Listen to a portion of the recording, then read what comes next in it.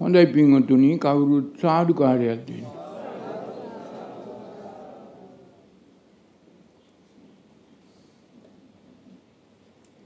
සමන්තා චක්කවාලීසු අත්‍රා ගච්ඡන්තු දේවතා සද්දමං මුනි රාජස් සුනන්තු සග්ග මොක්කදං ධම්ම ශ්‍රවණ කාලෝ අයං බදන්තා.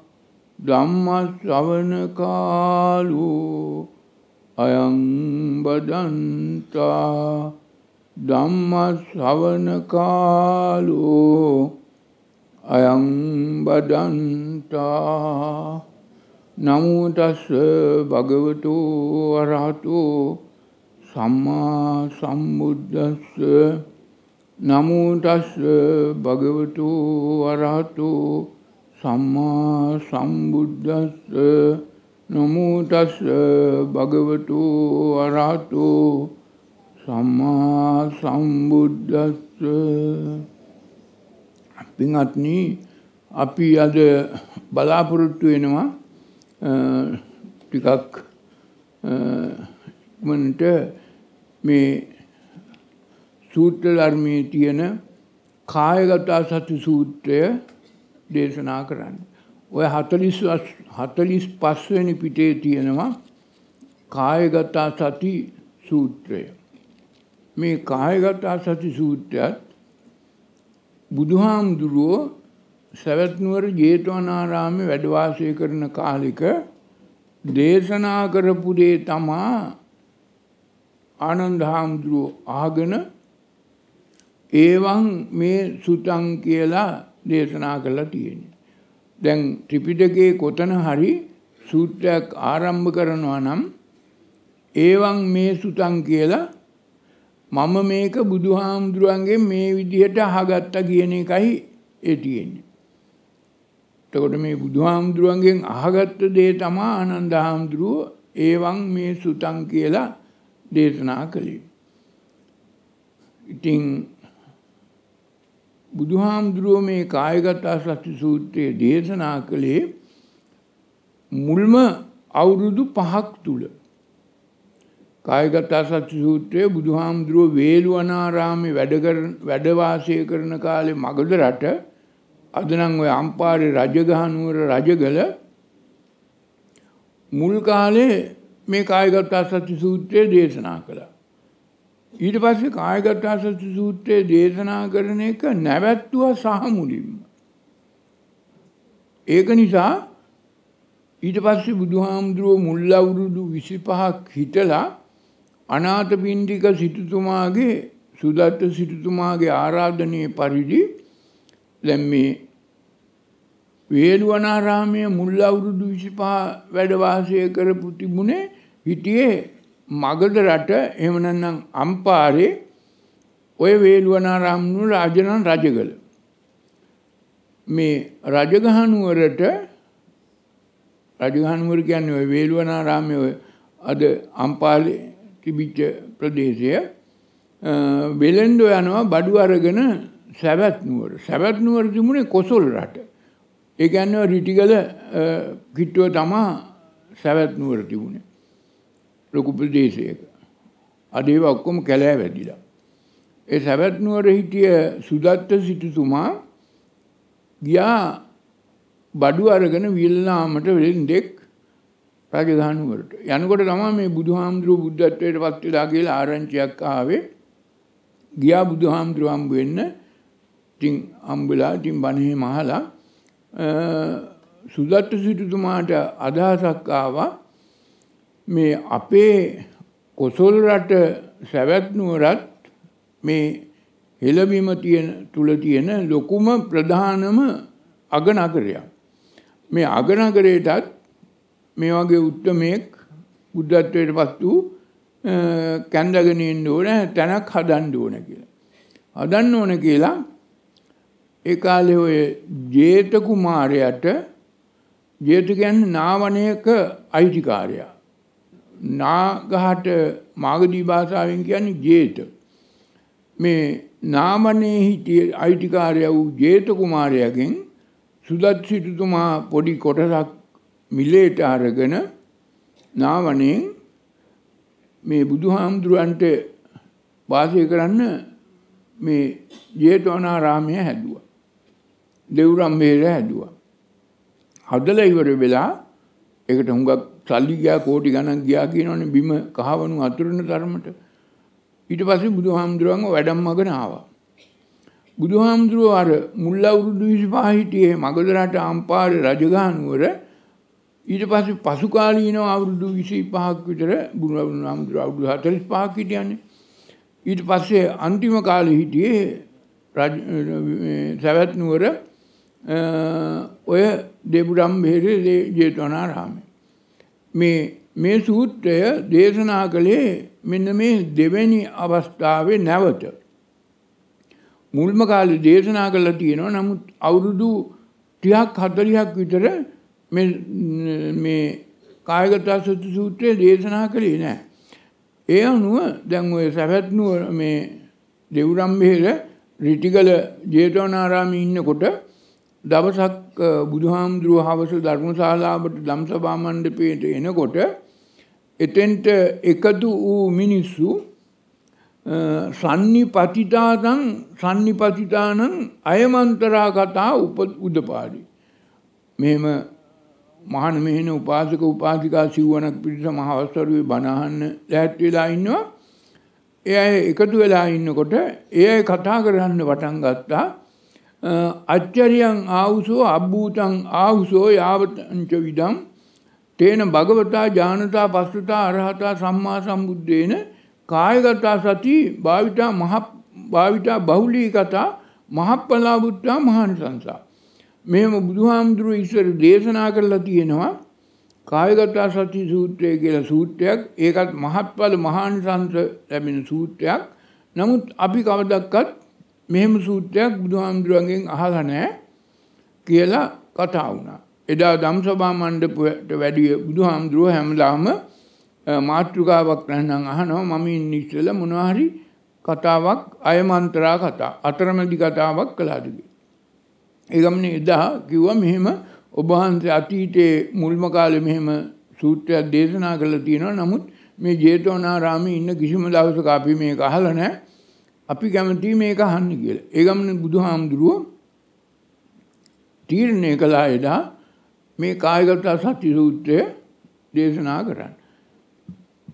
ඒක තමයි ඊට නිදාන කතාව.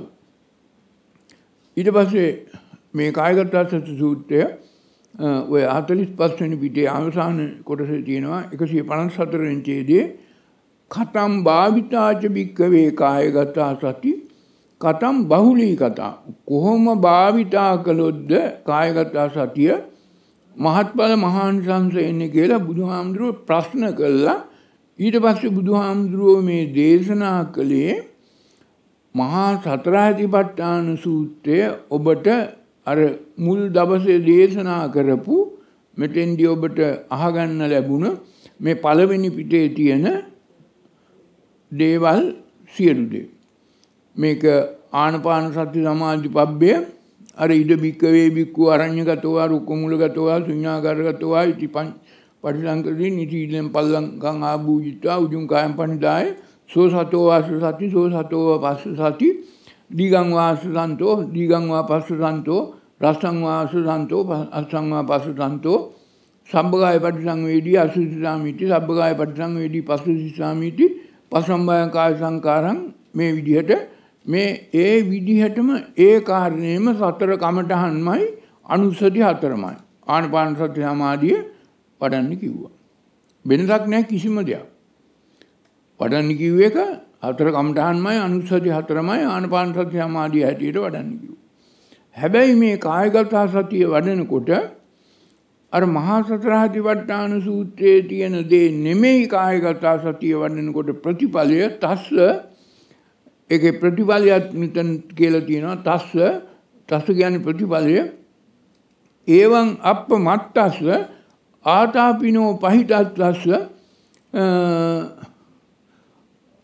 විහෙරතෝ ඒ ගේහසිතා සරසංකප්පා තේ පහියන්ති තේසම් පහනා අජ්‍යත්තමේව චිත්තං සන්තිට්ඨති සම්නිසීදති ඒකෝදි හෝති සම්මාදියති. මෙන්න මේ වගේ රාග දේශ මෝහ තමා තේසං.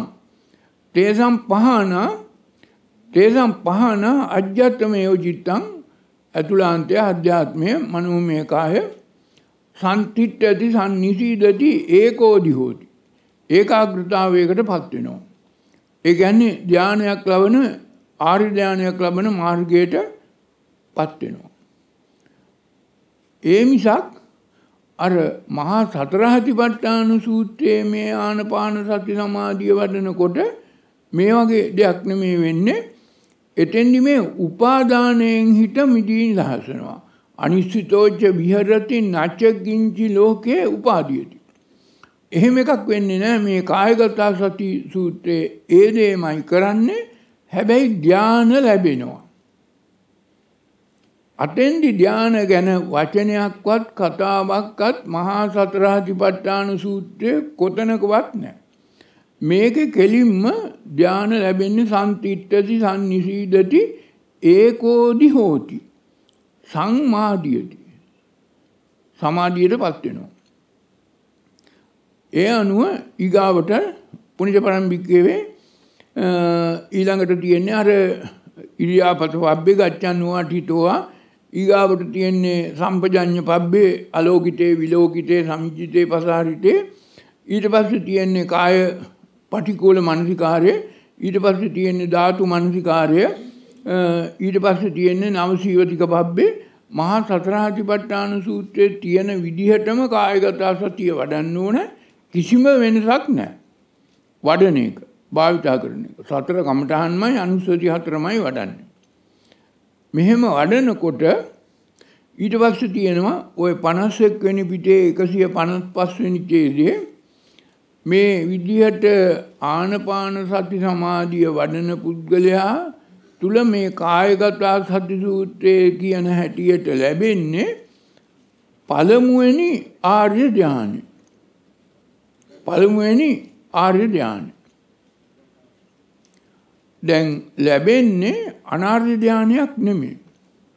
දැන් කවුද ඉස්සෙල්ලා ප්‍රශ්නෙකුත් ඇහුවානේ ආර්ය ධානයයි අනාර්ය ධානයයි වෙනස මොකද්ද කියලා. දැන් අනාර්ය ධානයක් නම් විතක්ක විචාර පීති සුඛ ඒකාග්‍රතාතිය කියන අංග පහෙන් යුතුයි අනාර්ය ධානයක්. විතක්ක විචාර පීති සුඛ ඒකාග්‍රතා අංග පහයි. ඒ අනාර්ය ධානයක්. නමුත් ආර්ය ධානයක් ඊට වඩා වෙනස් ඒ ආර්ය ධානය මේක කියලා තියෙනවා බික්කු විවිච්චේව කාමේහි විවිච්ච අකුසලේ පාපේහි අකුසල ධම්මේහි සවිතක්කං සවිචාරං විවේකජං පීති සුඛං පටමධ්‍යානං උපසම්පජ්ජ විහෙරති. දැන් ඔබ බලන ඇති කොහෙන්ද මේ වචන ටික කිව්වේ කියලා. මේ වචන ටික වෙනුවට පෙයන්නක් ලියලා ටිත් පෙලක් දාලා තියෙනවා. පෙයන්නක් ලියලා ඒකට කියනවා මේ මාග මේ බුද්ධ දේශනාවේ පෙయ్యాලය කියලා.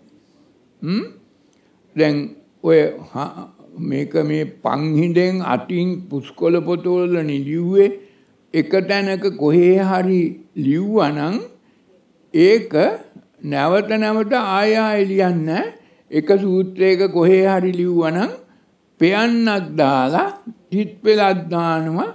ඒකට කියනවා පෙయ్యాලය කියලා. ඒ කියන්නේ පෙර කී පරිදි.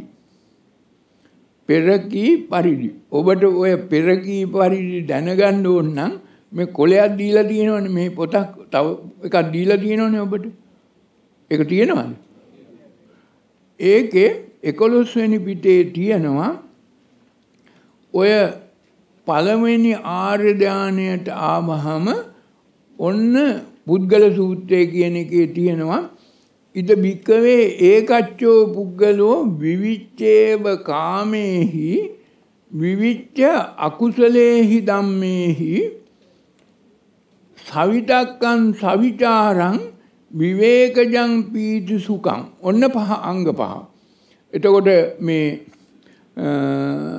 ආර්යධානයකට පත් වුණහම විතක්ක විචාර පීති සුඛ ඒකාග්‍රතා කියන පහන තියෙන්නේ අනාර්ය ධානයේ ආර්ය ධානයක නම් කාමේහි විවිච්ච කාමයෙන් වෙන් වූ අකුසලේහි ධම්මේහි විවිච්ච අකුසලයෙන් වෙන් වූ සවිතක්ක සවිචාර විවේකජම් පීතිසුකං කියන අංග පහ.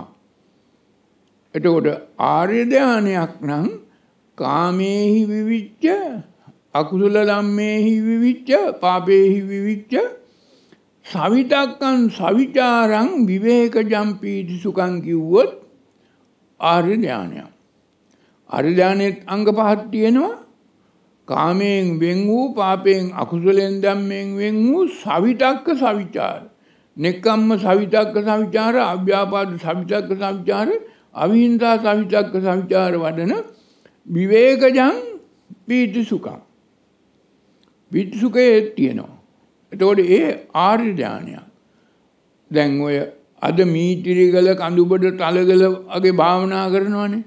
ඒවැ මිනිස්සුන්ටත් ඔය දාන ලැබෙනවා විතක්ක විචාර පීතිසුඛ ඒකාග්‍රතා කියන අංග පහෙන් යුත් අනාර්ය ධානය. හැබැයි ඒගොල්ලන්ට හුලං ඇද්දට පිට කළාට බඩ පිම්බීම හැකිලිම බැලුවට තව මොන මොනවා හරි භාවනාවක් කළාට මේ කියන කාමයෙන් වෙන් වෙන්නේ කාමයේ විවිච්ච අකුසලයෙන් පාප ධර්මයෙන් වෙන් වෙන්නේ ඒ වගේම සවිතක්ක සවිචාර නෙමෙයි එතන තියෙන විතක්ක ਵਿਚාර. ඒ අනාර්ය ධානය. එතකොට අනාර්ය ධානයේ පඨම ධානයට පඨම ආර්ය ධානයටපත් වෙනවා. කවුද? මේ යෝගාවචරය.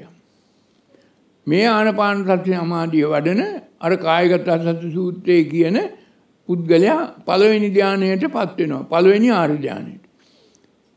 ඒ ආර්ය ධානය ගැන තමයි ඊගාවට මේ දිගටම කියලා තියෙන්නේ උදාහරණ උපමා දීලා මම ඒ ගැන එච්චර විස්තරයක් කියන්න බොහොම ගැඹුරු මාගදී වචන වලින් කියලා තියෙනවා. එතෙන්දි ඒ පුද්ගලයාට ලැබෙන දේ ඊට පස්සේ ওই 51 වෙනි පිටේම තව දුරටත් පුණ්‍යබණම් භික්කවේ භික්ඛු අර දිගටම ආනපාන සති සමාධිය සතර කම්ඩහන් අනුස්සති හතර වඩාගෙන යනකොට විතක්ක ਵਿਚාරාණං භූප සමා ඒකත් ඔන්නම් අර්පයන්න දාලා තියෙනවා. ඒකත් තියෙනවා මේ පුද්ගල සූත්‍රයේ 11 වෙනි පිටේ දෙවන ධානයේදී ඒ පුද්ගලයාට ඒ ලැබෙන විදිහ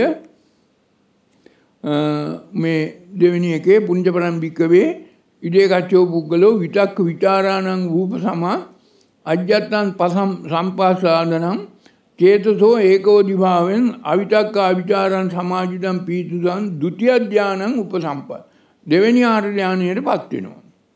ආනපාන සති සමාධිය දිගටම ආශේවිතය භාවිතය බහුලීගත තුන්වෙනි ආර්ය ධානයටත් පත් වෙනවා. ඊගාවට මම ඒකට විග්‍රහයක් ලොකුවට කරන්නේ තුන්වෙනි ආර්ය ධානයට හතරවෙනි ආර්ය ධානයටත් පත් වෙනවා.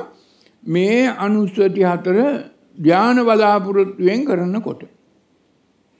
මේ ආනපාන සති සමාධියම අනුස්සති හතරමයි ධාන බලාපොරොත්තුවෙන් කරනවා නම් මේ කියන පළවෙනි ආර්ය ධානය දෙවෙනි පඨම ධානය ဒုတိ ය ධානය තතිය ධානය චතුර්ථ ධානය ධාන හතර ලැබෙනවා. ඒක කාටවත් බලක් ගන්න බෑ ලැබෙනවා. ඊට පස්සේ 53 වෙනි පිටේ බුදුහාමුදුරුවෝ කියනවා එකසිය පනස්හයවෙනි කේදේ දැන් පළවෙනි දෙවෙනි තුන්වෙනි හතරවෙනි ආර්යධාන ලබල තියෙන්නේ මේ යෝගාවචරය ආරිශ්‍රාවකය. අනාර්ධාන නෙමේ. ආනපාන සති අමාදිය අනුසති හතර වඩලා ලැබෙන්නේ ආර්යධාන. ඊට පස්සේ යස්ස කස්සචි වික්කවේ කායගතා සති භාවිතා බහුලී කතා අන්තෝගදාවාස්ස කුසලා ධම්මා ඒකේචි විද්‍යා භාගියා. දැන් මේ පළවෙනි දෙවෙනි තුන්වෙනි හතරවෙනි ආර්ය ධානයටපත් වුනහම මේ පුද්ගලයාට මේ ධානලාභියට පේනවා අන්තෝගදා වාස්ස කුසලා ධම්මා ඒකේචි විද්‍යා භාගියා. විද්‍යාභාගය ගැන විනිවිධ දකිනවා තමන්ගෙම මේ නාමකාය රූපකාය තුළින් තමන් මේ කුණුමුල් තුනක් ඈඳුතු තුනක් බැමි තුනක් තුළ හිරවෙලා ඉන්නවා. මේ බැමි තුන අන්තෝගදාවස කියන්නේ උදුරා දැමිය යුතු අත්හැරිය යුතු මේ බැමි තුන උදුරා දාන්න මේ යෝගාවචරය දන්නේ ඒකට මගක් තාම නැහැ. නමුත් එයා දකිනවා දැන් කුසලා ධම්මා විද්‍යා භාග්‍ය. මේ කුසලා ධම්මාගේ කුණු මුල් තුන සංසාරයට බැඳුණු කුණු මුල් තුන අන්තෝගදාවස ඒ පුද්ගලයා දකිනවා විද්‍යා භාග්‍ය. දැක්කට කුණුමුල් තුන කපන්න ක්‍රමයක් ඒ පුද්ගලයාට නැහැ. කුණුමුල් තුන කපන්න ක්‍රමයක් මේ කායගත අසත්‍ය සූත්‍රයේ මෙතෙන්දි කියන්නේ ඉතින් ඒ අනුව ඒ පුද්ගලයා මේ දිගටම දැන් පළවෙනි දෙවෙනි තුන්වෙනි හතරවෙනි ආර්ය ධ්‍යාන අනාර්ය ධ්‍යාන නෙමේ ආර්ය ධ්‍යාන ලැබුවා දැන් අර තමන් මේ සංසාර ගමනට බැඳිච්ච අර බැමි තුන බාන් තුන කුණුමුල් තුනත් විද්‍යා භාගියා අන්තෝගදා භාෂ. ඒ වුණාට එයාට මේකෙන් මිදී නිදහස් වෙන ක්‍රමයක් නැහැ. හැබැයි දැන් මේ පළවෙනි දෙවෙනි තුන්වෙනි හතරවෙනි ආර්ය ධානයටපත් වූ මේ ආර්ය ශ්‍රාවකයාට මේ ධාන නිසා මේ මිනිස්සෙක් හැටියට මේ ජීවිත කාලය තුල ලබන්න පුළුවන් පුදුම ආකාරයේ ඉහාත්ම සුඛ විහරණයක් ධාන සුවයක් දැනෙනවා. ඒ ධාන සුවය ඊටාම තද බල සුවයක්. මේ ධාන සුවය කියන එක හිතා ගන්න බැරි ධාන සුවයක් මෙහෙම පළවෙනි දෙවෙනි තුන්වෙනි හතරවෙනි ධානයට ලැබුවාම. ඒක ලෞකික වශයෙන් භෞතික වශයෙන් මේ ධාන සුවය විඳින්න පුළුවන්. ඒක බැරි වෙලාවත් ඒ පුද්ගලයා ඒ ධාන සුවය වින්දොත් 53 වෙනි පිටේ අවසාන ඡේදයේ කියනවා ඒව මේවකෝ භික්කවේ යස්ස කස්සචි කායගතා සති අභාවිතා අබහුලී කතා දැන් මේ ආනපාන සති අනුස්සති හතර වැඩිමයි ධානයට සමවැදිලා ධාන සුවය ලැබීමයි දෙකම එකට කරන්න බෑ. දෙකම එකට කරන්න බෑ. ධාන සුවයට විඳින්න තමා තාම මගඵල නොලැබූ මේ ආර්ය ධාන ලැබූ මගඵල නොලැබූ පුද්ගලයා මේ ධාන සුවයට ලොල් වෙනවා. ධාන සුවයට කැමති වුණොත් ඒ කැමති වූ මේ ආර්ය ශ්‍රාවකයාට කායගතා සති අභාවිතා අබහුලී කතා. භාවිතා කරන්න බෑ බහුලව භාවිතා කරන්නත් බෑ. එහෙම වුණොත් ලබති තස්ස මාරෝ ඔතාරම්. මාරයගේ උගුලට අහුවෙනවා. ලබති තස්ස මාරෝ ආරම්මන. මාරයගේ අරමුණට උගුලට අහුවෙනවා. එහෙම මාරයාගේ උගුලට අහුවුණොත් ඒ පුද්ගලයා මේ ධ්‍යාන සුවය මිනිමින් ධ්‍යාන දැන් එක දෙක තුන හතර පළවෙනි හතරවෙනි ධ්‍යානයටම ලැබලා නිසා ධ්‍යාන සුවය විඳින්න පුළුවන්. හැබැයි ධ්‍යාන සුවය විඳොත් ආනපාන සති සමාධියේ අනුස්සති හතර වඩන්න බෑ. එහෙම වුණොත් එතනින් මේ මාර්ගය ඉවරයි. එතෙන්දි යන්නේ බ්‍රහ්මත්වයට. එතෙන්දි යන්නේ බ්‍රහ්මත්වයට. ඒ පුද්ගලයාට එතනින් එහාට යන්න බෑ. කායගත සතිය වැඩුවේ නැත්නම් අභාවිතා අබහුලී කතා. මාරයගේ උගලට අහුණා මාරයගේ උතාරට අහුණා ඊට එහාට යන්න බෑ. ඒකත් උපමාවකින් බුදුහාමුදුරුව පෙන්නලා දෙනවා. ඊට පස්සේ බුදුහාමුදුරුවම කියනවා 54 වෙනි ඡේදයේ 157 වෙනි අංකය දරන එකේ යම් කිසි කෙනෙක් මේක තේරුම් අරගෙන මේ ධානයේ දැපුවොත් තැපුවත් ධාන සුවය වින්දොත් ධානය තදින් ආස්වාදනය කළොත් මේ මායාවේ උගුලට අහු වෙනවා මායාවේ අරමුණට යට වෙනවා කියන එක තේරුම් ගත්තොත් මේ ධාන සුවය විඳින්නේ නැහැ ධානයෙන් මිදී නිදහස් වෙලා දිගටම කායගත සතිය වඩනවා. යස්ස කස්ස ජීවිකවේ එකසිය පනසත්වෙනි චේදේ යස්ස කස්සච භික්කවේ කායගතා සති භාවිතා බහුලී කතා. දිගටම කායගතා සතිය අනුසති හතර වඩනවා එහෙම කළොත් න තස්ව ලබති මාරයාගේ උගුලෙන් බේරෙනවා මාරයාගේ උගුලට අහුවෙන්නේ නැහැ න තස්ව ලබති මාරෝ ආරම්මනම් මාරයාගේ අරමුණට යට වෙන්නේ නැහැ. ඒක තමයි කරන්න ඕන. දැන් තෝරගන්න වෙනවා ධාන සුවය විඳිනවද? ධානය අත්හැරලා ධානයේ මිදිලා ධාන සුවයෙන් නිදහස් වෙලා දිගටම අනුස්සති හතර ආනපාන සති සමාධිය වඩනවාද කියන එක. කායගත සතිය වඩනවාද කියන එක. එහෙම වැඩුවොත් ඒ පුද්ගලයාට එකසිය පනස්සට වැනි චේදය කියනවා මාරයගේ අරමුණට ඒ පුද්ගලයා අහුවෙන්නෙත් නැහැ මාරයගේ ආරම්මණයට යටවෙන්නෙත් නැහැ ඒ පුද්ගලයා කායගතා සති භාවිතා බහුලී කතා සෝ යස්ස යස්ස අභිඥා සච්චිකරණීයස් අභිඥා ලබනවා එක්කෝ පංචාභිඥා එක්කෝ ෂඩ් අභිඥා එක්කෝ අෂ්ටාභිඥා ලබනවා කවුද? දැන් මේ යෝගාවචරයා පළවෙනි ආර්ධානය දෙවනි ආර්ධානය තුන්වෙනි ආර්ධානය හතරවෙනි ආර්ධානය සාක්ෂාත් කරගත්ත ලැබුවා. හැබැයි ඒ ධ්‍යාන සුවේ විඳින්නේ ධ්‍යානෙ දපන්නේ තපන්නේ ධ්‍යාන සුවේ විඳින්නේ ආස්වාදනය කරන්නේ ඒ මොහොතේම ධ්‍යානෙ මිදිලා තවදුරටත් සතරානුස්සති එහෙම නැත්නම් ආනපාන සතිය සමාධිය වඩනවා ඒ පුද්ගලයාට අභිඥා සච්චිකරණීයස් අභිඥා ලැබෙනවා ඒ පුද්ගලයාට අභිඥා ලැබෙනවා පංචාභිඥා හෝ සත් අභිඥා හෝ අස්ත්‍රාභිඥා තමයි උපරිම ලැබෙන්නේ. දැන් අර කොණ්ඩඤ්ඤවප්ප වද්දී මහානාමලත් අනාර්ය ඥාන ලැබලා අභිඥා ලැබලා තිබුණා. මේ බුදුහාමුදුරන්ගේ ශ්‍රාවකයටත් හැබැයි මෙතන තියෙන්නේ ආර්ය ඥාන සහ අභිඥා. ඒ අභිඥාත් ලබා ගන්න පුළුවන්. ඒකත් උදාහරණයකින් කියලා ඊට පස්සේ දැන් මේ යෝගාවචරයා සතර කමටහන් වඩනකොට අනිස්සති වඩනකොට ධ්‍යාන හතරම ලබලා අභිඥා ලබලා එකසිය පනස් නමවෙන්චේදේ කියනවා දැම් මේ පුද්ගලයා කායගතා භික්කවේ සතිය ආසේවිතාය භාවිතාය බහුලී කතාය යානි කතාය වත්තු කතාය අනුරිතාය පරිචිතාය සුසමාරද්ධාය දස ආනිසංසහ පාටිකංකා. මේ අනුස්සති හතර ධානයේ දපන් නැතුව තපන් නැතුව ධාන සුවය විඳින්න නැතුව දිගටම ගියොත් යානි කතාය වත්තු කතාය අනුචිතාය පරිචිතාය සුසමාරද්ධාය. ඒ අනුව දස ආනිසංශයක් ඒ ඉහාත්ම සුඛ වින ඒ මොහොතේම ආනිසංශ 10ක් ලබනවා. ආනිසංශ 10ක් ලබනවා. ඒක ආනිසංශ 10 දැන් ධ්‍යාන හතරයි අභිඥායි ඊට අමතරව අරති රති සහෝ හෝති.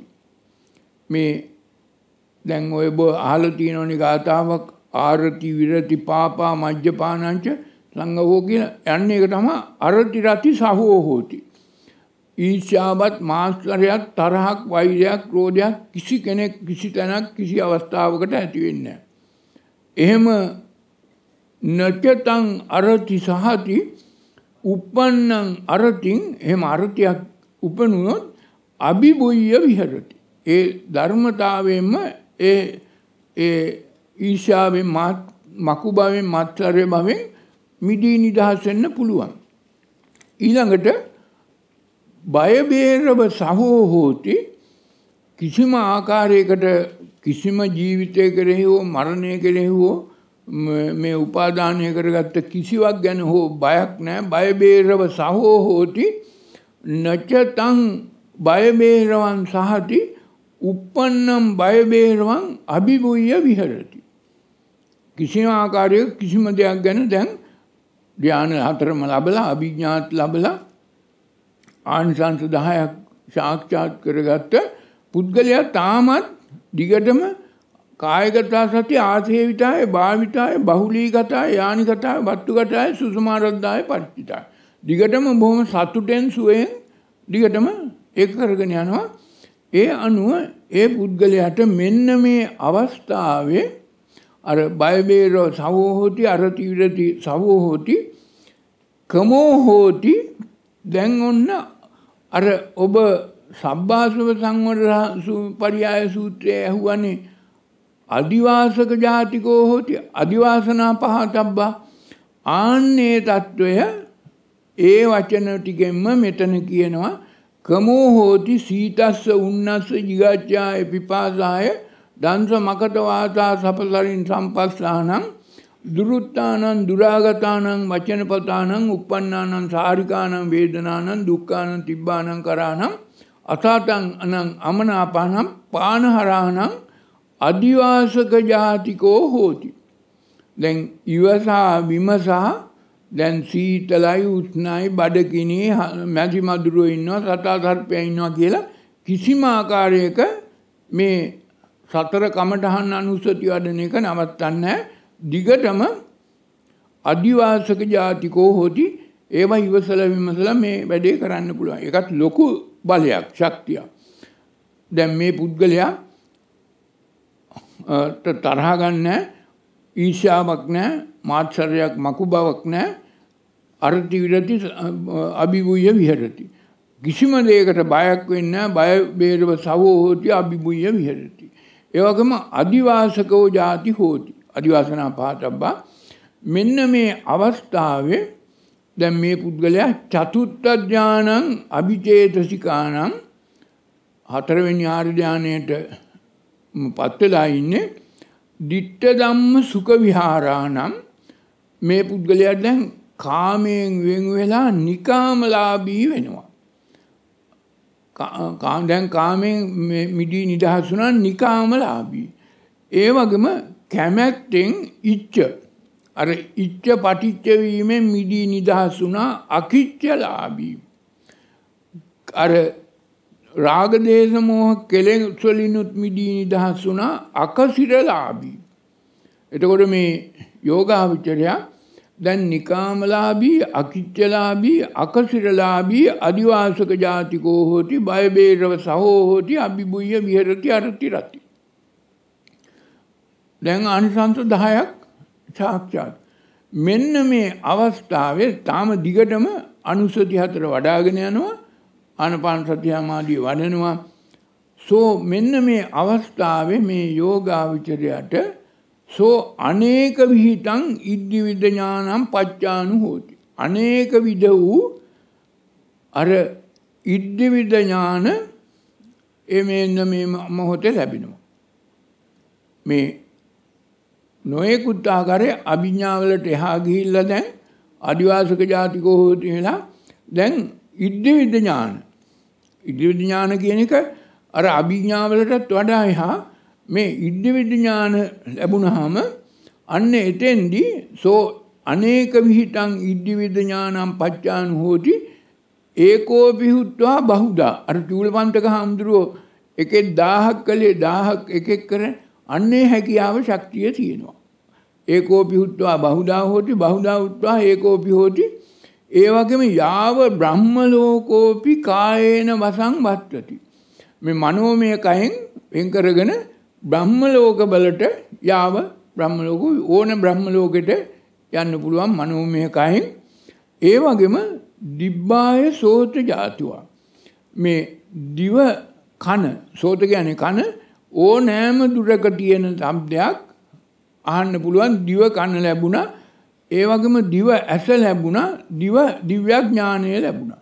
දිව නැන ලැබුණා. මේ තුන ලැබෙනවා. ඒ වගේම දිබ්බාය සෝත්‍යාති විසුද්ධාය අතික්කන්ත මානුසිකාය උබෝ සද්දේ සුනාති දිබ්බේච මානුසෙච්ච මානුසේච දුරේ සන්තිකේ දුර ඕනම දුර තැනක අහන්න පුළුවන්. ඒ වගේම ඊගාවට දැන් මේ ඉද්ධි ඥාන ලැබූ කෙනාට පරසත්තානම් පරපුලා පුද්ගලානම් බාහිර තුන්වෙනි පුද්ගලයෙකුගේ හිත කියවන්න පුළුවන්. පරසත්තානම් පරපුද්ගලාන චේතසා චේතෝ පරිච්ච පජානාති.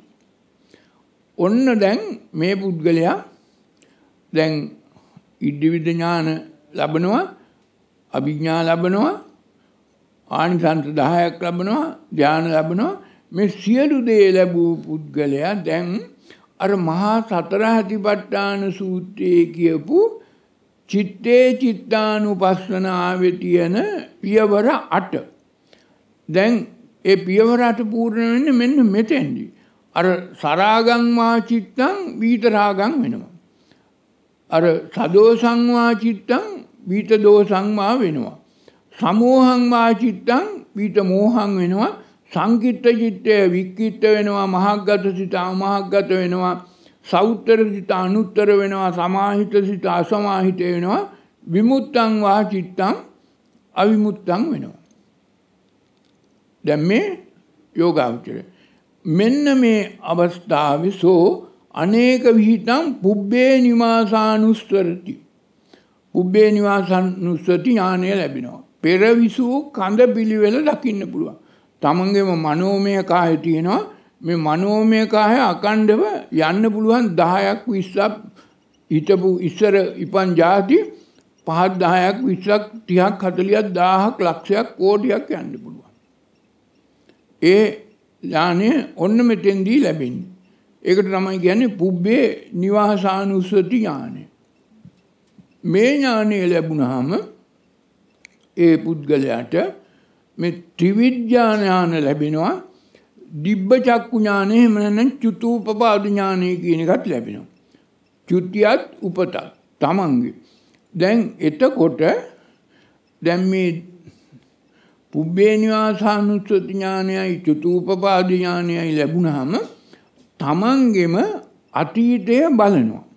බලන්න පුළුවන් මේ රූපවාහිනියකින් යන්න වගේ තමන්ගෙම අතීතයට යන්න පුළුවන්.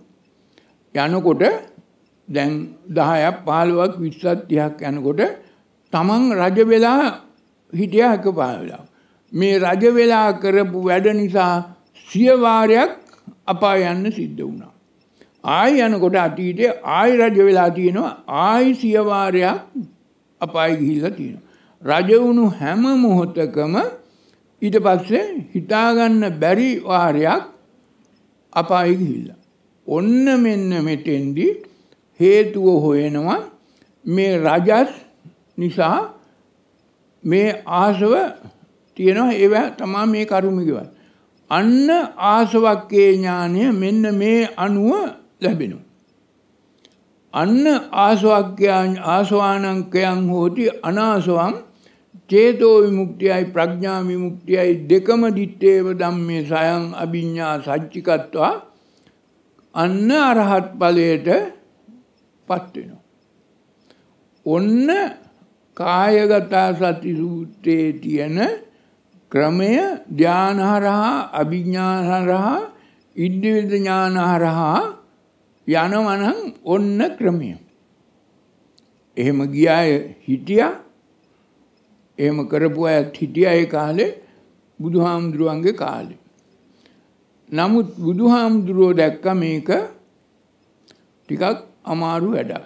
හැබැයි බුදුහාමුදුරුවෝ මේ බුද්ධත්වයට පත් වුණ කාලේ මේ ආර්ය ධාන නෙමෙයි අනාර්ය ධාන සහ අභිඥා ලැබූ ලක්ෂ ගණන් හිටියා. ගයා කස්සප ගාව, නදී කස්සප ගාව, ජටිල කස්සප ගාව, උද්දකරාම පුත්‍ර ආලාර කාලාම බග්ගව මේ වගේ අය ගාව හිටියම ධානලාභී. ඒ ධානලාභීන්ට බැරි වෙලාවත් කිව්වනම් ඔය ධාන වලින් වැඩක් නැහැ. මෙන්න මේ ආනපාන සතිය සමාධිය වඩන්න කියලා ඒ මිනිසුන්ට ඒක ගැලපෙන්නේ නැහැ. ඒ නිසා ඒ මිනිස්සුවේ ලැබූ ධාන තියෙන නිසා ඒ ධානවලින් උපකාරයක් උදව්වක් අරගෙන ඒ ඵල පුරුද්ද අත්දැකීමත් ලබලා ඒක අන අර අනාර්ය ධාන ආර්ය ධානයේ පත්තට අරගෙන අභිඥා ලැබලා මේ විදිහට මගපල් ලබන්න ක්‍රමයක් හදලා දුන්නා.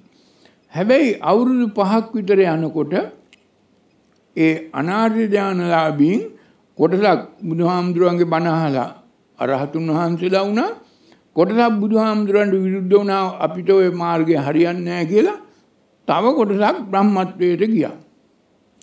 ඒක නිසා අවුරුදු 5කින් බුදුහාමුදුරුව නැවැත්තුවා මේ කායගත සතිය මේක හුඟක්ම අමාරු ක්‍රමයක්. මේක මේ ලේසි ක්‍රමයක් නෙමෙයි ධාන හතරම ලබන්න ඕන අභිඥා ලබන්න ඕන ඉද්ධ විඥාන ලබන්න ඕන මේ වගේ දේවල් හුඟක් කරන්න ඕන. මේ වගේ අමාරු දෙයක් නෙමේ මේ මගපල් ලබලා නිවන් දකින්න එක මේ උපාදානයේ මිදී නිදහස් වුණොත් නිවන් දකින්න පුළුවන් කියලා බුදුහාමුදුරුව සමුදය නිරෝධ මාර්ගය කිව්වා. ඉතින් ඒක නිසා මේ කායගත සත්‍ය සූත්‍රය ඒ ධානලාභීන් අභිඥාලාභීන් ඉන්න කාලේ කිව්වා මුල් අවුරුදු පහ තුල ඊට පස්සේ ඒක නැවැත්තුවා. ඒක නිසා ඒ අර ජේතවනාරාමේදී අවුරුදු 35කට 40කට පස්සේ බුදුහාමුදුරන්ට කිව්වේ අපි මෙහෙම කායගත සත්‍ය සූත්‍රය අහලා නැහැ කියලා. දැන් බුදුහාමුදුරුව මේ කායගත සත්‍ය සූත්‍රය දේශනා කළා. මේක කිසි කෙනෙකුට නිර්දේශ කළේ නැහැ මේ මේ පාර යන්න කියලා. මේ පාර යන්න කියලා මේක හරි කියලා නිර්දේශ කළේ නැහැ. නිර්දේශයක් දුන්නේ. නමුත් මහා සතරහතිපට්ඨාන සූත්‍රයේ නිර්දේශ පටිනිර්දේශ දෙකම තියෙනවා. ඉතින් ඒක නිසා මහා සතරහතිපට්ඨාන සූත්‍රයේ කොතනකවත් ධානයක අවශ්‍යතාවයකුත් නැහැ අභිඥාවක අවශ්‍යතාවයකුත් නැහැ ඉද්ධිවිද ඥානවල අවශ්‍යතාවයකුත් නැහැ. ඒක තියෙන්නේ සමුදය නිරෝධය මගින් උපාදානයෙන් සබ්බූපදි පජහති. සියලු උපාදානයන්ගෙන් හිත මුදවා නිදහස් කරගන්න ක්‍රමයක්. ඒ නිසා මහා සතරාතිපට්ඨාන සූත්‍රයේ බුදුහාමුදුරුවෝ එකදු වචනකින්වත් කොතනකවත් මේ ධාන හෝ අභිඥාවල අවශ්‍යතාවයක් පෙන්වුවේ නැහැ කෙනෙකුට මගපල් ලබන්න නිවන් දකින්න. හැබැයි ලැබෙනවා. ලැබෙනවා. හැබැයි ඒ ධානයෙන්ුත් මිදී නිදහස් වෙන්න ඕන. ඒ ධානයෙන් මිදී නිදහස් වෙන්න ඕන. ධානයෙන් මිදී නිදහස් වුණේ නැත්නම් මගපල් ලැබෙන්නේ නැහැ. ඉතින් ඒක නිසා බුදුහාමුදුරුවෝ මේ කායගත සති සූත්‍රයේ තියෙන මාර්ගය මේ අවුරුදු පහකට පස්සේ නැවැත්තුවා. නවත්තලා මේ මහා සතරහතිපට්ඨාන සූත්‍රය දේශනා කළා. ඒක දිගටම දේශනා කළා. ඉතින් ඒක නිසා මේ ධානහරා යන එක බොහොම අපහසුයි අමාරුයි අතරමං වෙනවා මොකද හේතුව අර ධානයක් ලැබූ ගමන් ඒ ධාන සුවය දපනවා තපනවා තදින් ආස්වාදනය කරනවා අර සතර කමඨහන් අනුස්සති වඩන්න බැරි වෙනවා. ඉතින් ඒක නිසා මේ පුද්ගල සූත්‍ර දැන් ඔබට මේ කොලේ දීලා තියෙන පුද්ගල සූත්‍රයේ තියෙන්නේ ওই ධාන හතරටම පත් වෙන්න පුළුවන්. අපි එක ධානයක් ගමුකෝ. මේක පළවෙනි දෙවෙනි තුන්වෙනි හතරවෙනි ධ්‍යාන හතරම ඔය 11 12 පිටිවල තියෙනවා. ඉද බික්කවේ ඒකච්චෝ පුද්ගලෝ විවිච්ඡේව කාමේහි විවිච්ඡ අකුසලේ ධම්මේ සවිතක්කං සවිචාරං විවේක ජම්පීතුසං පඨම ඥානං උපසම්පජ්ජ විහෙරති. පළවෙනි ආර්ය ධානයටපත් වුණා. සෝ ඒ පළවෙනි ධානයටපත් වූ පුද්ගලයා කියන්නේ සෝ සෝ තදස්සාදේති තදින්ම මේ ධානය ආස්වාදනය කරනවා. මේ ධානයේ දපලා තපලා ඒකෙන් නිදහස් වෙන්න කැමැත්තක් නැහැ. තන් නිකාමේති. ධානසුවේ විඳින්න කැමති ඒකෙන් මිදී නිදහස් වෙන්න බෑ. තන් නිකාමේති තේන චිත්තින් ආපජ්ජති. මේ ධානයක දපන එක තපන එක ධානසුවේ විඳින එක ධාන ගත වෙන දහන් ගත වෙන එක ඇවැතක් බව ආපජ්ජති. එක ඇබැතක් ඒක න චිත්තිං ඒක හිතන්නේ නෑ. ඒ ධානය ඇවැතක් බව හිතන්නේ නෑ. මොකද ආර්ය ශ්‍රාවකයෙකුට ඒක ඇවැතක්. එතනින් නවතිනවා. අර අතන කිව්වේ මාර්ගයගේ උගුලට අහු වුණා මාර්ගයේ ආරම්භුණට අහු වුණා කියලා. මේක කිව්වේ මෙතන කියන්නේ ඇවැතක්. ඊට වඩා බලවත්. ආර්ය ශ්‍රාවකයෙකුට ඇවැත බලවත්. අතන දෙකම එකයි. මාරයාගේ උගලට අහු වෙනවා මාරයාගේ අරමුණට අහු වෙනවා. මෙතන ආපජ්ජති ඇවතක් අහු ඇවතකට යනවා. ඒ පුද්ගලයා දැන් ධ්‍යාන ගත වෙනවා ධ්‍යාන සුවේ විඳිනවා. පළවෙනි ආර්ය ධ්‍යානයට පත් වුණාම දැන් අනුස්සති වඩන්න බෑ. හතර කමඨාන් වඩන්න බෑ. ආනපාන සති සමාධිය වඩන්න බෑ. හැබැයි ධ්‍යාන සුවේ විඳිනවා ධ්‍යාන සුවේ විඳිනවා ඒ ආපජ්ජති තත්ත ටිතෝ තදති මුත්තෝ තබ්බහුල විහාරෝ මේ ධානයෙන් පිරි අපරිහීනෝ පිරිහෙන්නේ නැහැ ධානයෙන් පිරිහුනේ නැති පුද්ගලයා තදින්ම මේ ධ්‍යානසුවේ විඳිමින් ජීවත් වෙනවා. මෙහෙම ඉන්නකොට අපරි ධ්‍යානයෙන් පිරිහුනේ නැත්නම් කාලං කුරුමානං ඉලක්කය.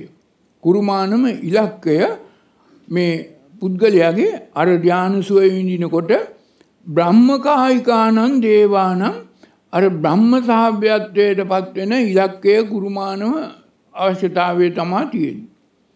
දැන් මේ අර කෙලෙස් කපන අදහසක් නෑ දැන් තියෙන්නේ ධානසුව විඳින්මින් බ්‍රහ්ම සාභ්‍යත්වයට පත්වෙන ඉලක්කය කුරුමානම බ්‍රහ්මකායිකානන් දේවානං ඒ පුද්ගලයා යම් අවස්ථාවක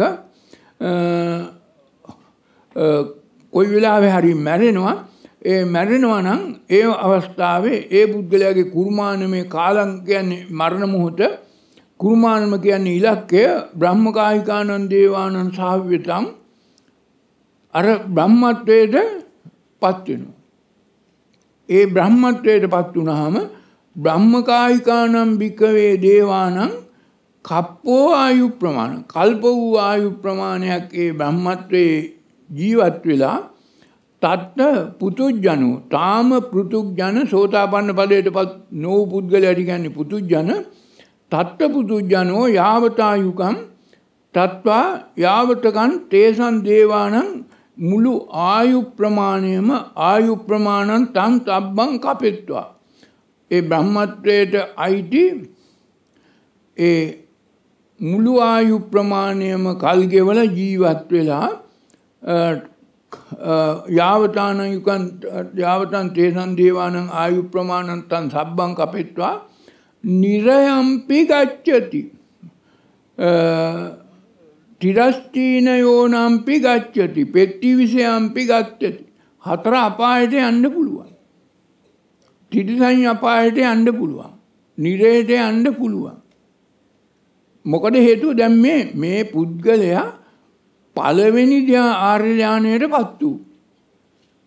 හැබැයි බුදුහාමුදුරුව කියනවා මේ ධානයෙන් මිදී නිදහස් වෙන්න බැරි වුණා නම් ධානයේ දැපුවානම් තැපුවානම් මරණ මොහොතේ ධාන සුවේ විඳමින් හිටියානම් ධානයෙන් පිරුණේ නැත්නම් යන්නේ බ්‍රහ්ම සාහභ්‍යත්වයට තාම පෘථග්ජනයි සෝතාපන්න නැහැ. ඊට පස්සේ 1 2 3 4 හතරවෙනි ආර්ය ඥානයට පත් වුණත් ඊට පස්සේ මේ පොතේම තියෙනවා මේ කොලේම මේ ත්‍රිපිටකයේ තියෙන සූත්‍රයක් පුනිත පරම්පිකේ හතරවෙනි ඥානය පුනිත පරම්පිකවේ ඉදේ කච්චෝ පුද්ගලෝ සුකස්සච පහනා දුක්ඛස්සච පහනා පුබ්බේව සෝමනස්ස දෝමනස්සානං අත්තංගම අදුක්කම අසුකං උපේක්ඛා සතිපාරිසුද්ධං චතුත්ථ ධානං උපසම්පද්‍ය විහෙරති. හතරවෙනි ආර්ය ධානයටපත් උනත් ඒ පුද්ගලයා සෝ තදින්ම මේ හතරවෙනි ධානය තදින්ම ආස්වාද කරනවා නම් ඒකෙන් ධානයෙන් මිදී නිදහස් වෙන්නට ක්‍රමයක් දන්නේ නැත්නම් ඒක ඇවතක් බව දන්නේ නැත්නම් තදෝ ටිතන්තිමුත්තෝ තබ්බවුල විහාරී අපරිහිනෝ කාලං කුරුමානෝ ඉලක්කේ තියෙන්නේ වේහප්පල්ලානන් දේවානන් සහව්‍යතං. වේහප්පල්ලා කියන අර බ්‍රහ්මත්වයට යනවා. ඒක තියෙනවා භික්කවේ දේවානම් පංචකප්ප සත සහස්සානි ආයුෂ. ආයුෂ කල්ප පහක් තියෙනවා. පංච කප්ප සතු සහස්ථානි ආයු ප්‍රමාණ.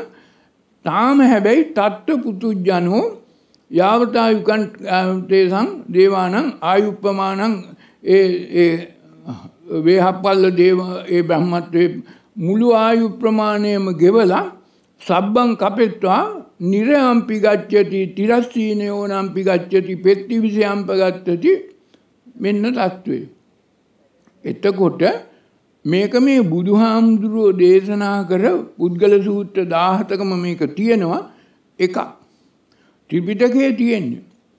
එතකොට යම් කිසි කෙනෙක් අනාර්ය ධානයටපත් උනත් ඕක තමයි ආර්ය ධානයටපත් උනත් ධානයේ දැපුවොත් දැපුවොත් ධානයෙන් මිදී නිදහස් වෙන්න බැරි වුණොත් ඒක ඇවතක් බව තේරුම් ගත්තේ නැත්නම් මරණ මොහොතේ ධානය සුවය විඳින්මින් හිටියොත් ඒ පුද්ගලයා යන්නේ අර බ්‍රහ්මත්වයට. ඒ බ්‍රහ්මත්වයේ ආයු ප්‍රමාණයම ගෙබලා නිරයට යන්න පුළුවන් පෙට්ටි විශේෂයට යන්න පුළුවන් තිරස්චීන යෝනියට යන්න පුළුවන් හතර අපායට යන්න පුළුවන්. තාම පෘථග්ජන නිසා තත්ත්ව පුතුජනෝ හතරෙම තියෙනවා.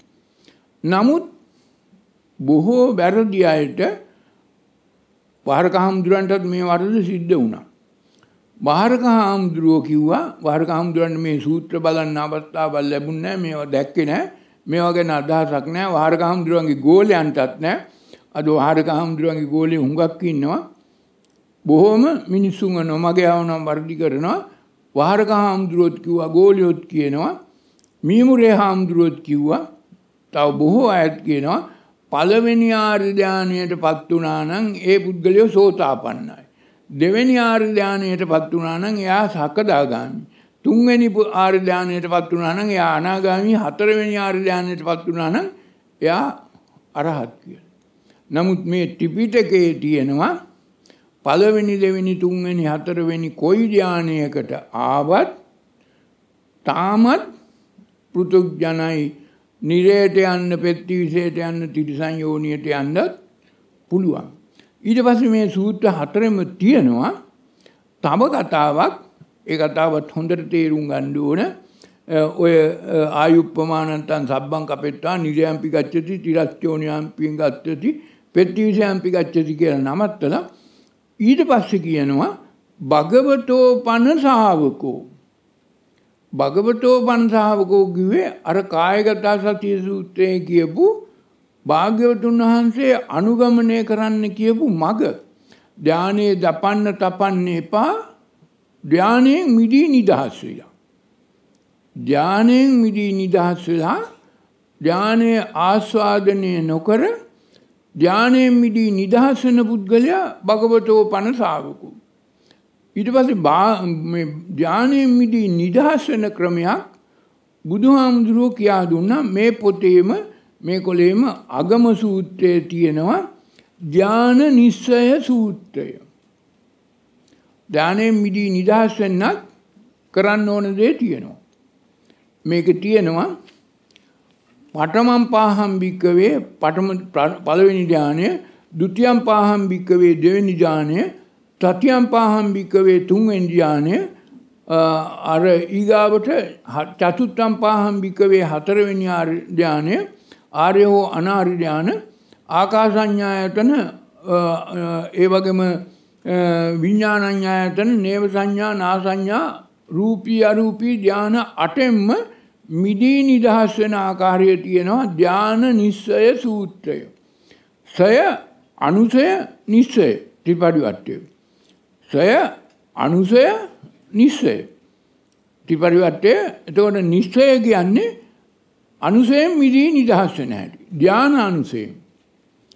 ධ්‍යාන අනුසයෙන් මිදී නිදහස් වෙන හැටි තමයි සය අනුසය නිශ්චය.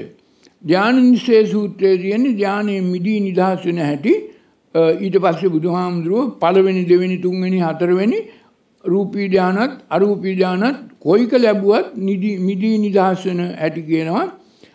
දැන් කියනවා සෝ මේ පළවෙනි ධානයෙන් මිදී නිදහස් වෙන සෝ යදේව තත්ත්ව හෝති රූපගතම් මේ ධානයේ තියෙනවා රූපගතං වේදනාගතං සංඥාගතං සංකාරගතං විඥානගතං. පඤ්ඤා පංචස්කන්ධයේම ආස්වාදයක් විඳිනවා. නාම රූප දෙකම පුද්ගලයා මේ එක එක තමයි කිව්වේ. රූපගතං වේදනාගතං සංඥාගතං සංකාරගතං විඥානගතං. තේ ධම්මේ මේ ධර්මයේ තේරුම් අරගෙන මේ මේ ආස්වාදයක් මේ රූපගතං වේදනාගතං සංඥාගතං මේ පංචස්කන්ධයේ ගැනීමත් මේකත් අනිත්‍යතෝ දුක්ඛතෝ රෝගතෝ ගණ්ඩතෝ සල්ලතෝ අගතෝ ආබාධතෝ පරතෝ පලෝකතෝ ශුඤ්‍යතෝ අනත්තතෝ. දැන් මේ කියන්නේ මරණානුස්සතිය වඩලා ධානයෙන් මිදී නිදහස් වෙන්න. හැබැයි මරණානුස්සතිය තියෙන්නේ අනිත්‍යතෝ දුක්ඛතෝ අනත්තතෝ. මේකේ දැම්ම ඊට වඩා මේ ධානය මේ ධාන්සුවේ මේ රූපගතං වේදනාගතං සංඥාගතං අනුසය සුවය මේක අනිත්‍යතෝ දුක්ඛතෝ විතරක් නෙමේ. මේක ගණ්ඩතෝ රෝගතෝ දුක්කතෝ මේක රෝගයක් ගණ්ඩයක් සල්ලතෝ අගතෝ මේක ආබාධයක් පරතෝ පලෝගතෝ මේක සුඥ්ඥතෝ අනත්තතෝ මේක අත්තසේ ගැනීම මේ ධානය වැරදි. එතකොට බුදුහාමුදුරුව ඊටාම පැහැදිලිව මේ ධාන නිසේ සූත්‍රයේ ත්‍රිපිටකයේ තියෙන්නේ යම් කිසි කෙනෙක් මේ කියන ආර්ය හෝ අනාර්ය හෝ ධානයක් මේක අනාර්ය ආර්ය දාන අනාර්ය දාන රූපී දාන අරූපී දාන ඔක්කොම තියෙනවා. මේ සියලු දාන නිත්‍යසේ ගන්න එපා අනිත්‍යතෝ සුඛසේ ගන්න එපා දුක්ඛතෝ. මේක රෝගයක් ලෙඩක් ගණ්ඩයක් උලක් ආබාධයක් අපහසුතාවයක් මේක ආබාධයක්. මේක අනත්තතෝ. මමත්වයෙන් ගන්න එපා. මේ එතකොට මේ මරණානුස්සතිය වඩන්න ඕන ධ්‍යානය ලැබුව. මරණානුස්සතිය වඩහම් ධ්‍යානය ලැබුවොත් ඒ ධ්‍යානයනුත් මිදී නිදහස් වෙන්නත් මරණානුස්සතිය වඩන්න ඕන හැබැයි මරණානුස්සතිය අනිත්‍ය දුක්ඛානත්ව විතරක් නෙමේ අනිත්‍යතෝ දුක්ඛතෝ ගණ්ඩතෝ රෝගතෝ ගලතෝ ආබාධතෝ පලෝකතෝ මේ ඔක්කොම වචන තව 10ක් විතර දාලා තියෙනවා මිනිහෙකුට හැදෙන්න පුළුවන් සියලු රෝග ආබාධ අපහසුතාවන් දාලා තියෙනවා. මේ ධානය මේ ධානය පිළිබඳව බුදුහාමුදුරුවෝ කියන්නේ. එතකොට මේ ධානය කියන එක නිවනට උපකාර වෙන දෙයක් නෙමෙයි බ්‍රහ්මත්වයට යන පාර. ධානයෙන් මිදෙන්න ඕන. ධානයෙන් මිදුන් නැත්නම් ඒකට අදින් ආස්වාදනය කළොත් ඒක මායාවේ උගලක් මායාවේ අරමුණක් නෑ. දැන් අද වෙනකොට ඔය මීතිරිගල තලගල කඳුබොඩ මේ ලංකාවේ විතරක් නෙමේ සියලු තැන්වල විසුද්ධි මාර්ගයේ කියන පාලි උගන්වන තැන්වල බෞද්ධ පාලි විශ්වාස හැම තැනම මිනිසු කියන්නේ ධානයක් ලැබුණොත් හරි. ධානය තමයි වටින්නේ. පාරකාම්දුරොත් කිව්වේ ඕකමයි.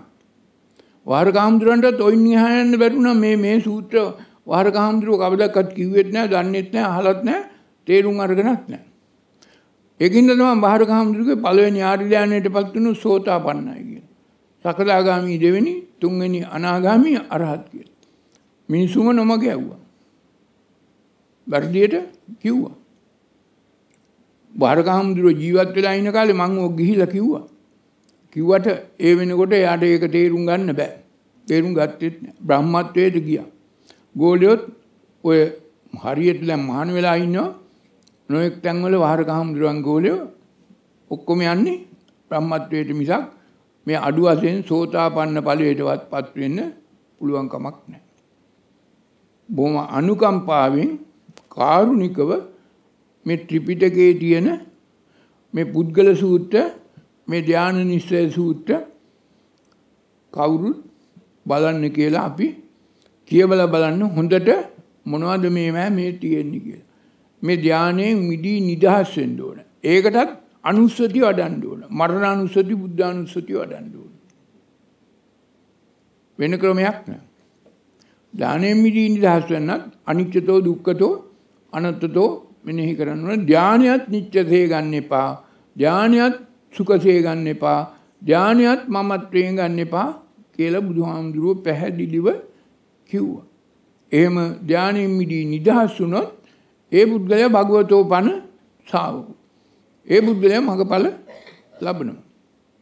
දිගටම අනුසති වඩන කොට සමුදය නිරෝධගාමී ප්‍රතිපදාව අනුගමනය කරනවා. ඉතින් ඒක නිසා මේවා මේ ත්‍රිපිටකයේ තියෙන සූත්‍ර මේවා හැම තැනකම තියෙනවා ධානයක් ලැබුණොත් ධානයෙන් මිදී නිදහස් විය යුතුයි කියලා. එහෙම නැත්නම් භගවතෝ පන් ශ්‍රාවකුන් මේ භාග්‍යවතුන් වහන්සේගේ මඟ අනුගමනය කරන කෙනෙක් නෙමෙයි. ධානයේ දපල තපල බ්‍රහ්මත්වයට යන කෙනෙක්. බාහිරකහම් දුරොත් ගෝලියොත් ඒ භගවතෝ පන් ශ්‍රාවකුන් නෙමෙයි බ්‍රහ්මත්වයට යන පාර හොයන මිනිස්සු. ඒක නිසා මේ ත්‍රිපිටකයේ මේවා තියෙන්නේ මේ වෙන කොහෙවත් නෙමෙයි. ත්‍රිපිටකයේ තියෙන දේවල් අපි හොඳට කියවලා අහලා බලන්න ඕන. හොඳයි එහෙනම් තවත් සූත්‍ර කීපයක්ම තියෙනවා කියවන්න නමුත් ඒක අපි දැන් වෙලාවක් තියෙනවා. තව ප්‍රශ්න අහන්න වෙලාවක් තියෙන නිසා අදත් අපි පැයක් විතර ඔබට ප්‍රශ්න අහන්න අවස්ථාව ලබා දෙනවා. හෙටත් සුළු වෙලාවක් හෝ ප්‍රශ්න අහන්න. හෙටත් සූත්‍ර ධර්ම උදේ 5ක් විතර දේශනා කරන්න තියෙනවා.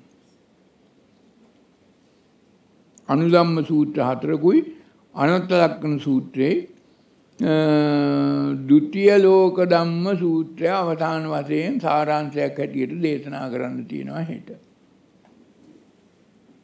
දුතිය ලෝක ධම්ම සූත්‍රයත් මේ මේකේ මේ පොතේමයි තියෙන්නේ ඔය තියෙන්නේ දුතිය ලෝක ධම්ම සූත්‍රය තියෙනවා පළවෙනි එකටම තියෙන්නේ දුතිය ලෝක ධම්ම සූත්‍රය ඒක හෙට අවසාන විදි වශයෙන් කියනවා.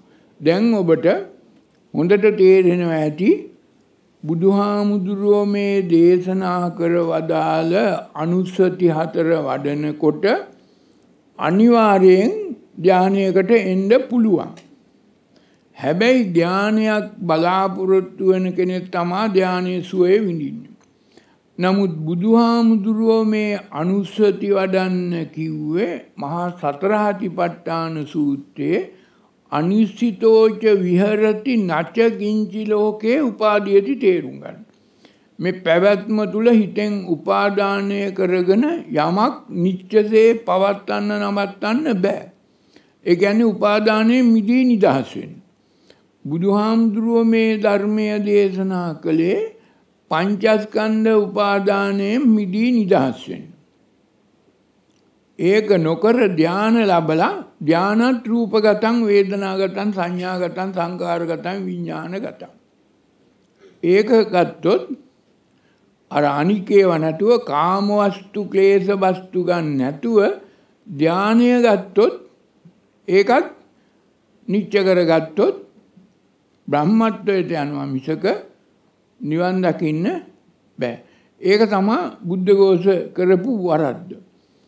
බුද්ධඝෝෂ කොයිවත් මේවා මේ ගැන මේ මේ මේ කියන ධාන නිශ්චය සූත්‍රය හෝ පුද්ගල සූත්‍ර 17 හෝ ගැන බුද්ධඝෝෂ දැනගෙන හිටියේ නැහැ. වහරක හාමුදුරුවෝ දැනගෙන හිටියෙත් නැහැ.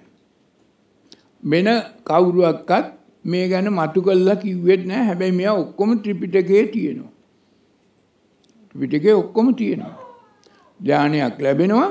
ධානයෙන් මිදී නිදහස් වෙන්නත් සතර අනුස්සති වඩන්න. මරණ අනුස්සති බුද්ධ අනුස්සති වඩන්න. එතකොට ධානයෙන් මිදී නිදහස් වෙනවා.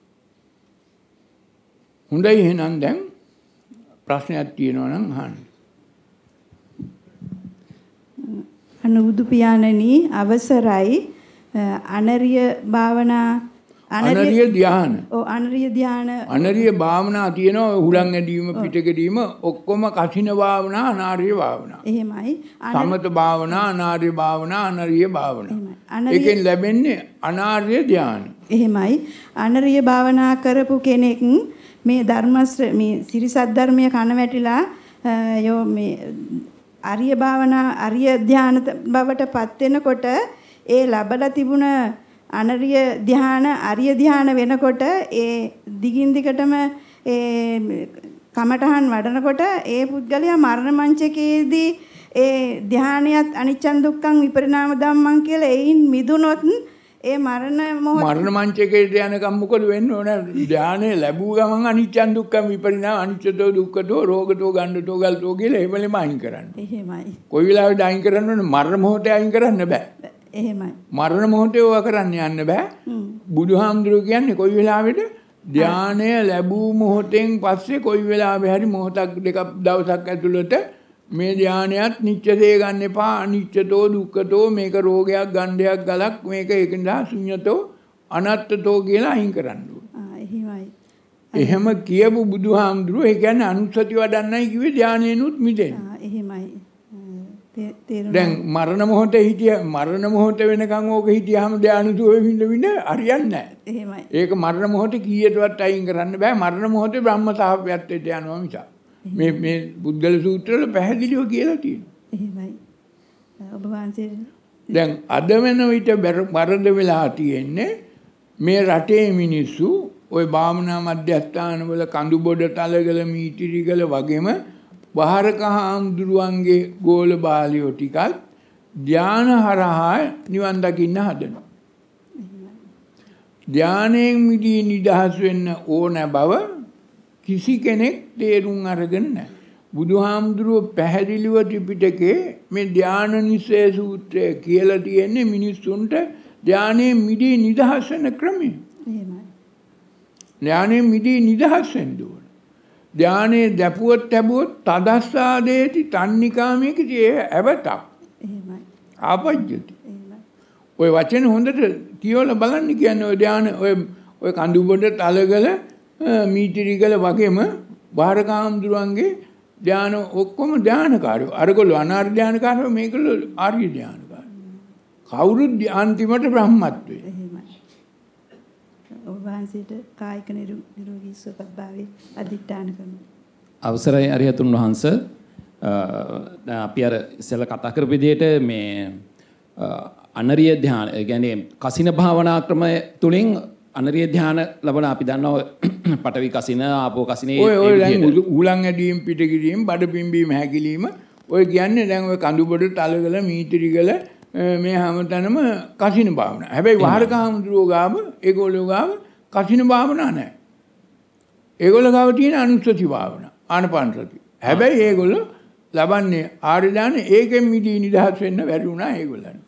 එහෙම එකක් වහරක හාමුදුරුවෝ කවදක්වත් කිව්වේ නැහැ පෙන්ලා දුන්නේ. මේ ධානයෙනුත් මිදී නිදහස් වෙන්න කිව්වා. වහරක හාමුදුරුවෝ කිව්වේ ආර්ය ඥානයෙන් මගබල් ලබනවා කියලා. ඒක වැරදි. ආ එහෙමයි ස්වාමීනි. එතකොට ඒ වහරක හාමුදුරුවෝ කිව්වේ අ, වහරක හාමුදුරුවෝ කසින භාවනා ක්‍රමයෙන් නෙමෙයි ගියේ භාවනාව. හාමුදුරුවෝ කසින භාවනා ක්‍රමේ වැරදි කියලා උලන් ඇදීම් පිට කිරීම වැරදි මේ කිව්වේ අනුස්සති වඩන්න. එහෙමයි. ඒක හරි. ඒව කිව්වා ඔක්කොම. හැබැයි කාරක හාමුදුරුවන්ට මේ ධානයෙන් මිදී නිදහස් වෙන්න ඕනයි කියන එක කොහෙවත් කිව්වේ නෑ. එහෙම. බාරක හාමුදුරුව මෙතෙක් කල් ඔය කඳුබඩ තලගල මීතිරිගල වගේ සම්මත බ- තැන්වල බූරුමේ සියමේ මේ හැමතැනම රටේ අ, රේණුකාණේ හාමුදුරුව සියලුම දෙනා අනාර්ය ධානය ලබන අනාර්ය භාවනා. ඒකෙන් මිනිස්සුන්ව මුදවාගෙන ආර්ය භාවනාවක් ලබන කරන ක්‍රමය කිව්වා. හැබැයි එතනින් ලබන ආර්ය ධාන වලින් මිදී නිදහස් විය යුතු බව පාරක හාමුදුරුව දැනගෙන හිටියෙත් නැහැ කිව්වෙත් නැහැ බ්‍රහ්මත්වයට ගියා. ආ, එහෙමයි ස්වාමීනි. එහෙමයි පැහැදිලි වහන්සේට නිදුක් නිරෝගී සුවපත් භාවයේ පදස්ටාන. අවසරය හරියට උන්වහන්ස නාම රූපේ හේතුවෙන් අපේ කෙලෙස් සිත් උපදිනවා අපි කියන්නේ එදිනදා ජීවිතේ ගත කරන අපි සතර කමරණ වඩනවා ඒ අවස්ථාවල ඒ ස්වාමීන් වහන්සේ දැන් රූප මේ නාම රූප වලට නෙමෙයි වඩන්නේ. අපි දැන් අපි සංකාරවල. සංකාර එතකොට ස්වාමීන් වහන්සේ දැන් මේ න්‍යාම ධර්ම පහ කොහොමද මේකට ගැලපෙන්නේ ඒක න්‍යාම ධර්ම පහ කියන්නේ මේ ලෝකේ පවතින නියත ධර්මතා පහ. තේරුණාද? දැන් මේකේ මේ න්‍යාම ධර්ම වල ප්‍රධාන න්‍යාම දෙකක් තියෙනවා. ධර්ම න්‍යාමය, කර්ම න්‍යාමය. ඒකට ඒ දෙකට අනුසාංගික න්‍යාම තුනක් තියෙනවා. බීජ න්‍යාමයේ, උතු න්‍යාමයේ, චිත්ත න්‍යාමයේ. දැන් ධම්ම න්‍යාමයට අනුගත වෙනවා නම් අනුස්සති වඩන්න. කර්ම න්‍යාමයට වඩනවා නම් රාගයෙන්, දේශයෙන්, මෝහයෙන් ඕන එකකින් වැඩ කරන්න පුළුවන්. එතකොට අර බීජ න්‍යාමයේ, උතු න්‍යාමයේ, චිත්ත න්‍යාමයේ ඒ විදිහට වැඩ කරනවා. ඒවා න්‍යාම ධර්ම. එතකොට තෝරගන්න ඕන ධම්ම න්‍යාමය. ඒකනේ අර අ, ධම්ම න්‍යාම සූත්‍රයේ දේශනා කළේ. සේවිතබ්බා සේවිතබ්බා සූත්‍රය. කුසලයේ වඩා වර්ධනය වෙන දේ ධම්ම න්‍යාමය, අකුසලයේ වඩා වර්ධනය වෙන දේ කම්ම න්‍යාමය. එහෙමයි ස්වාමීන් වහන්සේ අභිනය සානුසය ඒ අපි දැන් ගැඹුරින් තැම්පත් වෙලා තියෙන අතීතයේ ඉඳන් අපි රැස් කරගත්ත අභිස- අභිනය සානුසය හැටියට. එව්වා කය වෙන්නේ ස්වාමීන් වහන්සේ ආරිතුන් වහන්සේ ආසවක්ඛ්‍ය ඥානය ලැබුණ වෙලා ලැබුණාමද ඒ කියන්නේ නෑ නෑ නෑ. ඔය බොහෝ දේවල් ටික දවසකින් ඉවර වෙනවා.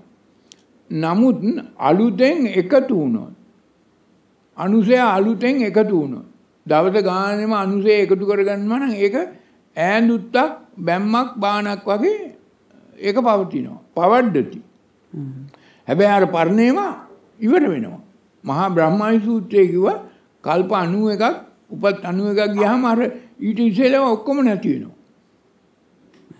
අවසරයි ස්වාමීන් වහන්සේ මේ ප්‍රශ්නේ අහනවට අ, සාමාන්‍යයෙන් අ, අනාගාමී උත්තමයෙක්ට අ, පොට්ටබ්බ කායේ ක්‍රියාවලිය දැඩි ලෙසම බලපානවා. ඒ ස්වාමීන් වහන්සේ දැන් මනෝ සංකාර හැටියට දැඩි ලෙස ඒක දැනෙනවා මේ දැන් මේ කය අපි ස- කවෙන් සමුගන්න යන්නේ. ඒ වෙලාවට ස්වාමීන් වහන්සේ අභිඥාතං අභිඥේ ලෙස මේක ප්‍රහාණය කරන විදිය කොහොමද ස්වාමීන් වහන්සේ ඒක කරන්නේ? ඒකත් අනිච්චන් දුක්ඛම් විපරිණාම ධම්මං නිබ්බිදාය විරාගාය නිරෝධන අනුස්සති වඩනකොට ඒක අසුභානුස්සති වඩලා ඒකෙන් මිදී නිදහස් වෙනවා. අනුස්සති වඩන්නමයි ඕනේ. ඒකත් සුන්දර සුබ දෙයක් නෙමෙයි ඒකත් අසුභයක්. ඒකත් අනිච්ච දේ ගන්න එපා. ඒකත් සුඛ දේ ගන්න එපා.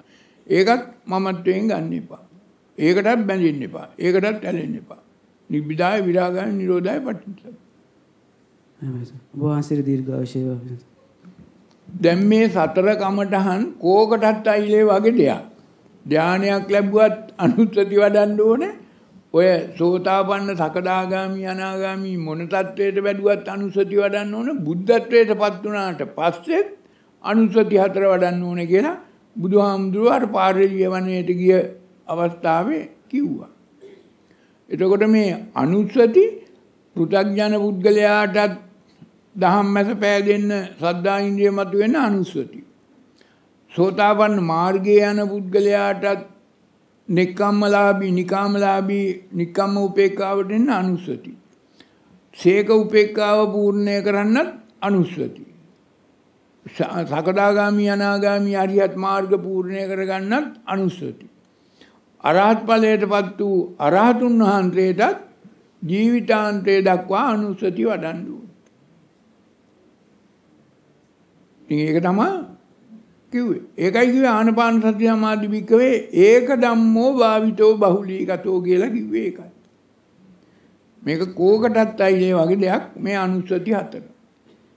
අවසරයි ආර්යතුන් වහන්සේ gedara හදන සුනකයන්ට මිය ගියායින් පස්සේ පෑන් වඩලා පින් අනුමෝදන් කරොත් පින් අනුමෝදන් කළාට ඉතින් කමක් නැහැ වරදක් නැහැ.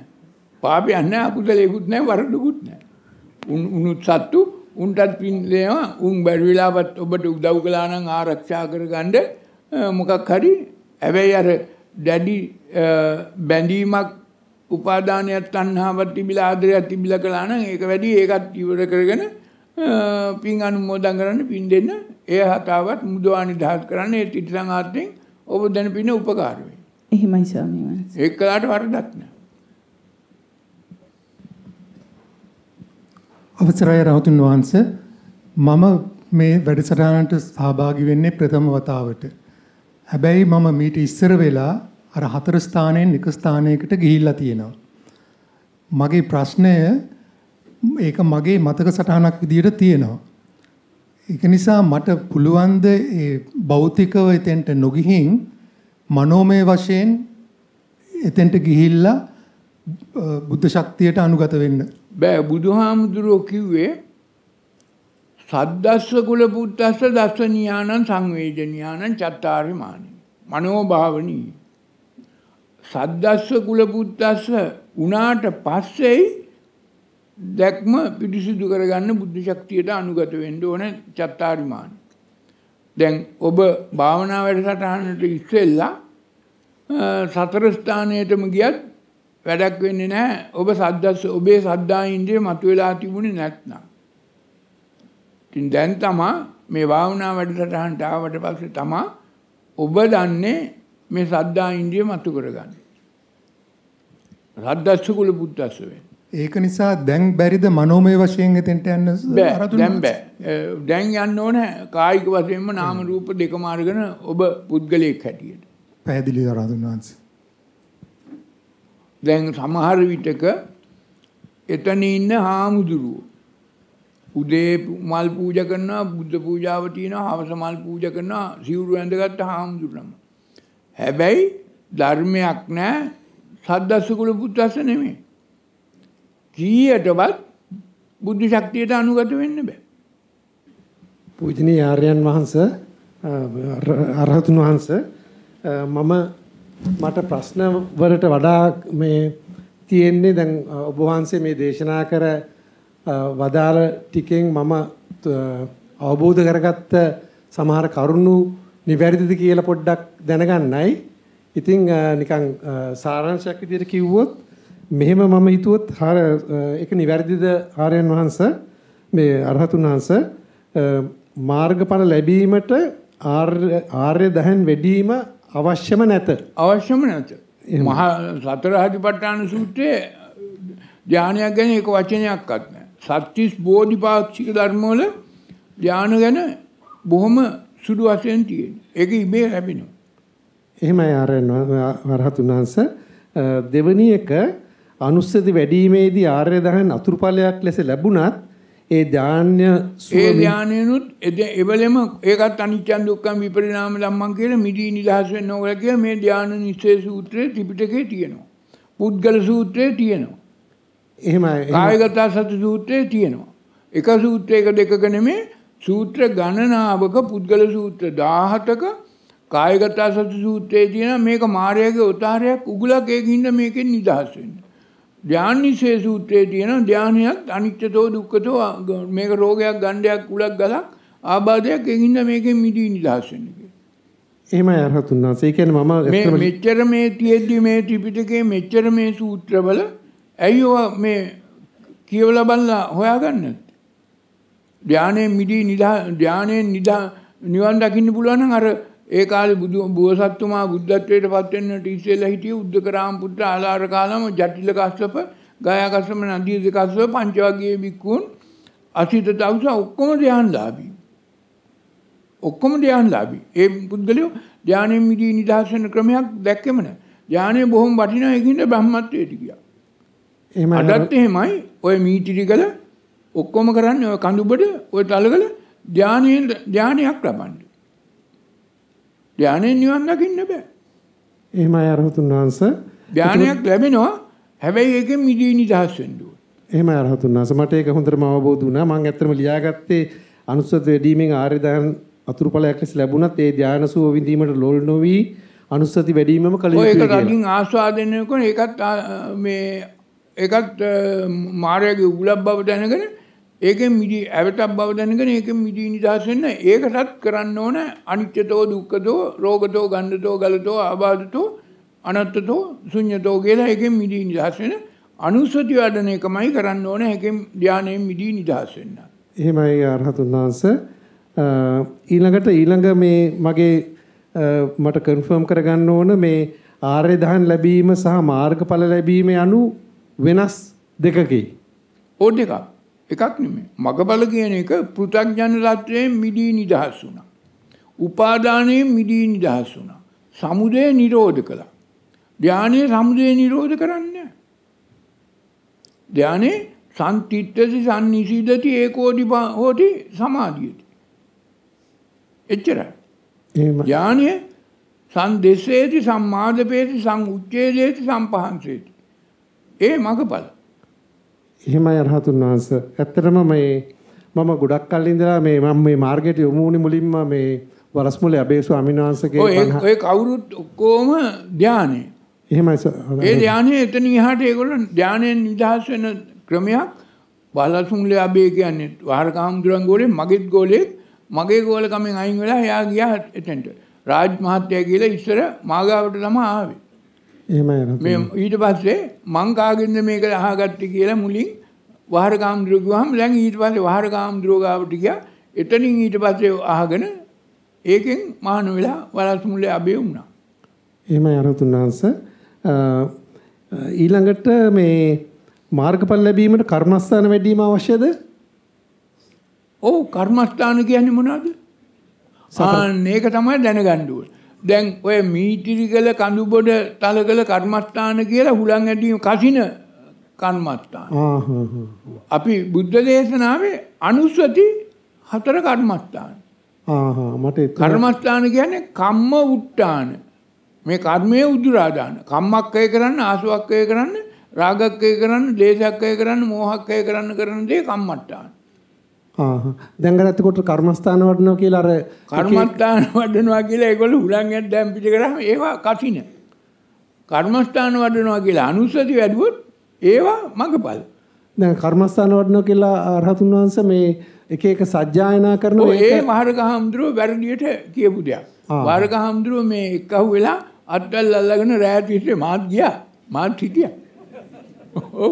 ඔය ගිල්ලාගම ඔය පොල්ගාවෙලට එහා මම මුල් කාලේ මෙම ගියාම ඉතින් වාරක හාමුදුරුව ර- සමහර විට ඔය සජ්ජායනා කරන ඔක්කොම ඔය ඕවා. තව හුඟක් දේවල්. එහෙම අරතුන් වහන්ස.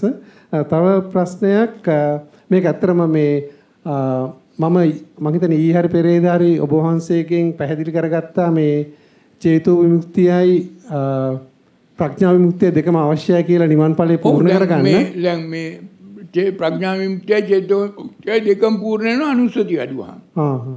දැන් මම අර මේ මේක අබේ ස්වාමීන් වහන්සේගෙන් දවසක් දැහුවා මේ ප්‍රශ්නේ මේ දැන් මාර්ග ඔය ඒගොල්ලෝ කරන ක්‍රමයට චේතෝ විමුක්තිය ලැබෙනවා ප්‍රඥා විමුක්තිය ශේෂයක්වත් නැහැ.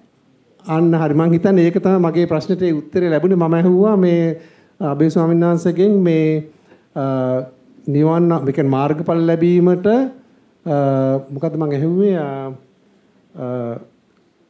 මාර්ගඵල ලැබීමට ආර්ය ධ්‍යාන ලැබීම අවශ්‍යද කියලා.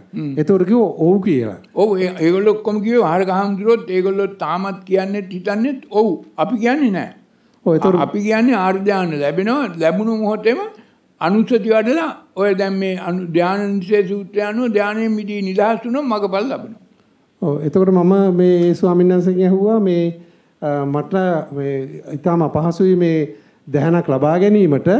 ඉතින් ඒකයි මම මේ ප්‍රශ්නේ ඇහුවේ කියලා. ඉතින් මේ එතකොට අබේ ස්වාමීන් වහන්සේ කිව්වා මේ දැන් ධානය ලැබුණා නිවන් නැහැ කියලා. නෑ එහෙමම නෙවෙයි ටිකක් ඒ සම්බන්ධව තමයි කිව්වේ මෙහෙමයි. ආර්ය දහන් නැතුව කොහොමද ජේතෝ මුක්තිය ලබන්නේ කියලා. ඉතින් මම ඒකට උත්තරයක් දන්නේ නැහැ. ඉතින් එහෙම තමයි ඇහුවේ මගෙන්. අර ධානය ලැබනකොට ප්‍රඥා විමුක්තිය ලැබනකොට චේතෝ විමුක්තිය තිබේම ලැබෙනවා. සමතේටපත් වෙනකොටම යදිදන් සබ්බ සංකාර සමතෝ වෙනකොටම චේතෝ විමුක්තිය ලැබෙනවා. සබ්බූපදි පටිනිසග්ගෝ තණ්හක්කයෝ විරාගෝ ප්‍රඥා විමුක්තිය. ඉතින් ඔබ වහන්සේට දීර්ඝායුෂ ලැබේවා. මොකද මේ මට තිබිච්ච ගැටලු කිහිපයක්ම මේ වගේ නිකන් අතරමං වෙලා වගේ පොඩ්ඩක් ඕ දැන් ඔය ඔතන්ට යන මං මේ යන්න එපයි කියන්නේ නැහැ. එතෙන්ට යන ඔක්කොම මිනිස්සු ධානයට විතරයි මග තියෙන්නේ. ආර්ය ධානයට මග තියෙනවා. එතනින් එහාට මගක් නැහැ. අතරමං වෙලා බ්‍රහ්මත්වයට යනවා. එහෙමයි. ඔය දැන් එතෙන්ට ගිය මිනිස්සු අපි දන්න බොහෝ දෙනෙක් වාරක හාමුදුරුවෝ ඇතුළු මැරුණා. මැරුණ සියලු දෙනා බ්‍රහ්මත්වයට ගියේ. වැඩි දෙනෙක්. ඉතින් බ්‍රහ්මත්වයට යන්න මේ ඔයගේ මාන්සි වෙලා ධ්‍යාන ලබන්න ඕනද? එහෙමයි මේ. පැවැත්ම තුලම තියෙන එක තවත් එක අනාථ වෙච්ච අතරමං වෙච්ච දෙනා දීර්ඝායුෂ ඇති. මේ මේ මට පැහැදිලි කරලා මේ මාව නිවැරදි මත වලින් මේ වැරදි මත වලින් නිවැරදි කිරීම ගැන ඔබ වහන්සේට දීර්ඝාෂු වේවා. අවසරයි ස්වාමීන් වහන්ස මගේ ප්‍රශ්නේ දැන් බුද්ධත්වයේ ලැබලා පස්වග මහණුන් ළඟට එනකොට එයාලත් අනාරි භාවනා ලැබලා තිබුණා අයනේ. ඔව් අනාථ ධ්‍යාන. ඔව් ධානය. එතකොට එයාලවත් ඒගොල්ලෝ ධ්‍යානලාභී අභිඥාලාභී ඉර්ෂිවරු. ඉද්ධිපාතිහාර පාන්න පුළුවන් ඉර්ෂිවරු. එයාලවත් ආපස්සට ගන්න ඕනද අනුස්සති වඩලා? නෑ, පස්සට ගන්න ඕනේ. දැන් ඒගොල්ලෝ ඒගොල්ලෝ නොදැන හිටියේ එක කරුණක් විතරයි බුදුහාමුදුරුවෝ ගිහිල්ලා කිව්වේ හෙට උදේ අපි අර ධම්මානුධම්ම පටිපදාවේ අනත්ත ලක්ෂණ සූත්‍රයේ ඔය කතාව කියන්නේ. ඒගොල්ලන්ට කිව්වේ එකම කතාවයි. යංකින්චි සමුදය ධම්මං සබ්බන්තං නිරෝධ ධම්මං. ඒක ඒගොල්ලෝ දැනගෙන හිටියේ නෑ. ඒක කරන්න අහලා තිබුණෙත් නෑ දැනගෙන හිටියෙත් නෑ. ධානය ලැබුවට මගපල් ලැබුවට ඒක කරන්න බෑ කසින භාවනා කරලා. ඒක කරන්න බෑ ධාන අභිඥා ලැබලා ඒකට අනුස්සති වඩන්න ඕනේ. ඒකට අනුස්සති වඩන්න ඕනේ. හොඳමයි. පින් අයිතනවා. මරණානුස්සතිය බුද්ධානුස්සතිය වඩන්න ඕනේ. අනුස්සති හතර ගැනනේ අපි සාකච්ඡා කරන්න අනුස්සති අනුස්සති හතරයි. ඔව්. 10ක් ගැන අනුස්සති 10ක් තියෙනවා.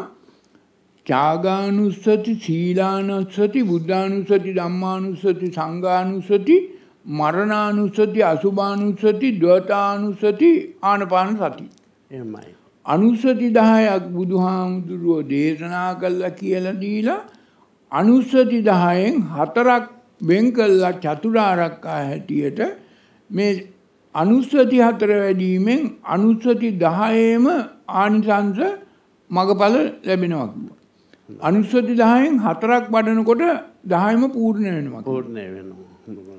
අනුස්සති 10ක් තියෙනවා බුද්ධ දේශනාවේ 10ක් විග්‍රහ කරලා තියෙනවා හතරක් භාවිතයට ගන්නකොට 10ම වැඩුවාසේ මගඵල ලැබෙනවා.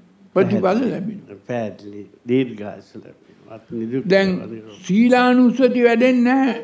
මේ දැන් පළවෙනි එක තමයි සීලානුස්සති. සීලානුත්තට වැඩෙන්නේ නැහැ සීල් සමාදන් වුණාට සීල් ගත්තට සීලේ පිහිටා කටයුතු කළාට. අනුස්සති වැඩිවොත් සීලානුස්සතියත් පූර්ණ වෙනවා. ත්‍යාගානුස්සතියත් පූර්ණ වෙනවා. බව උදුරා දමන බුද්ධානුස්සතියත් පූර්ණ වෙනවා. හේතුඵල ධහමට බලා ගහ ගලපන් ධම්මානුස්සතියත් පූර්ණ වෙනවා.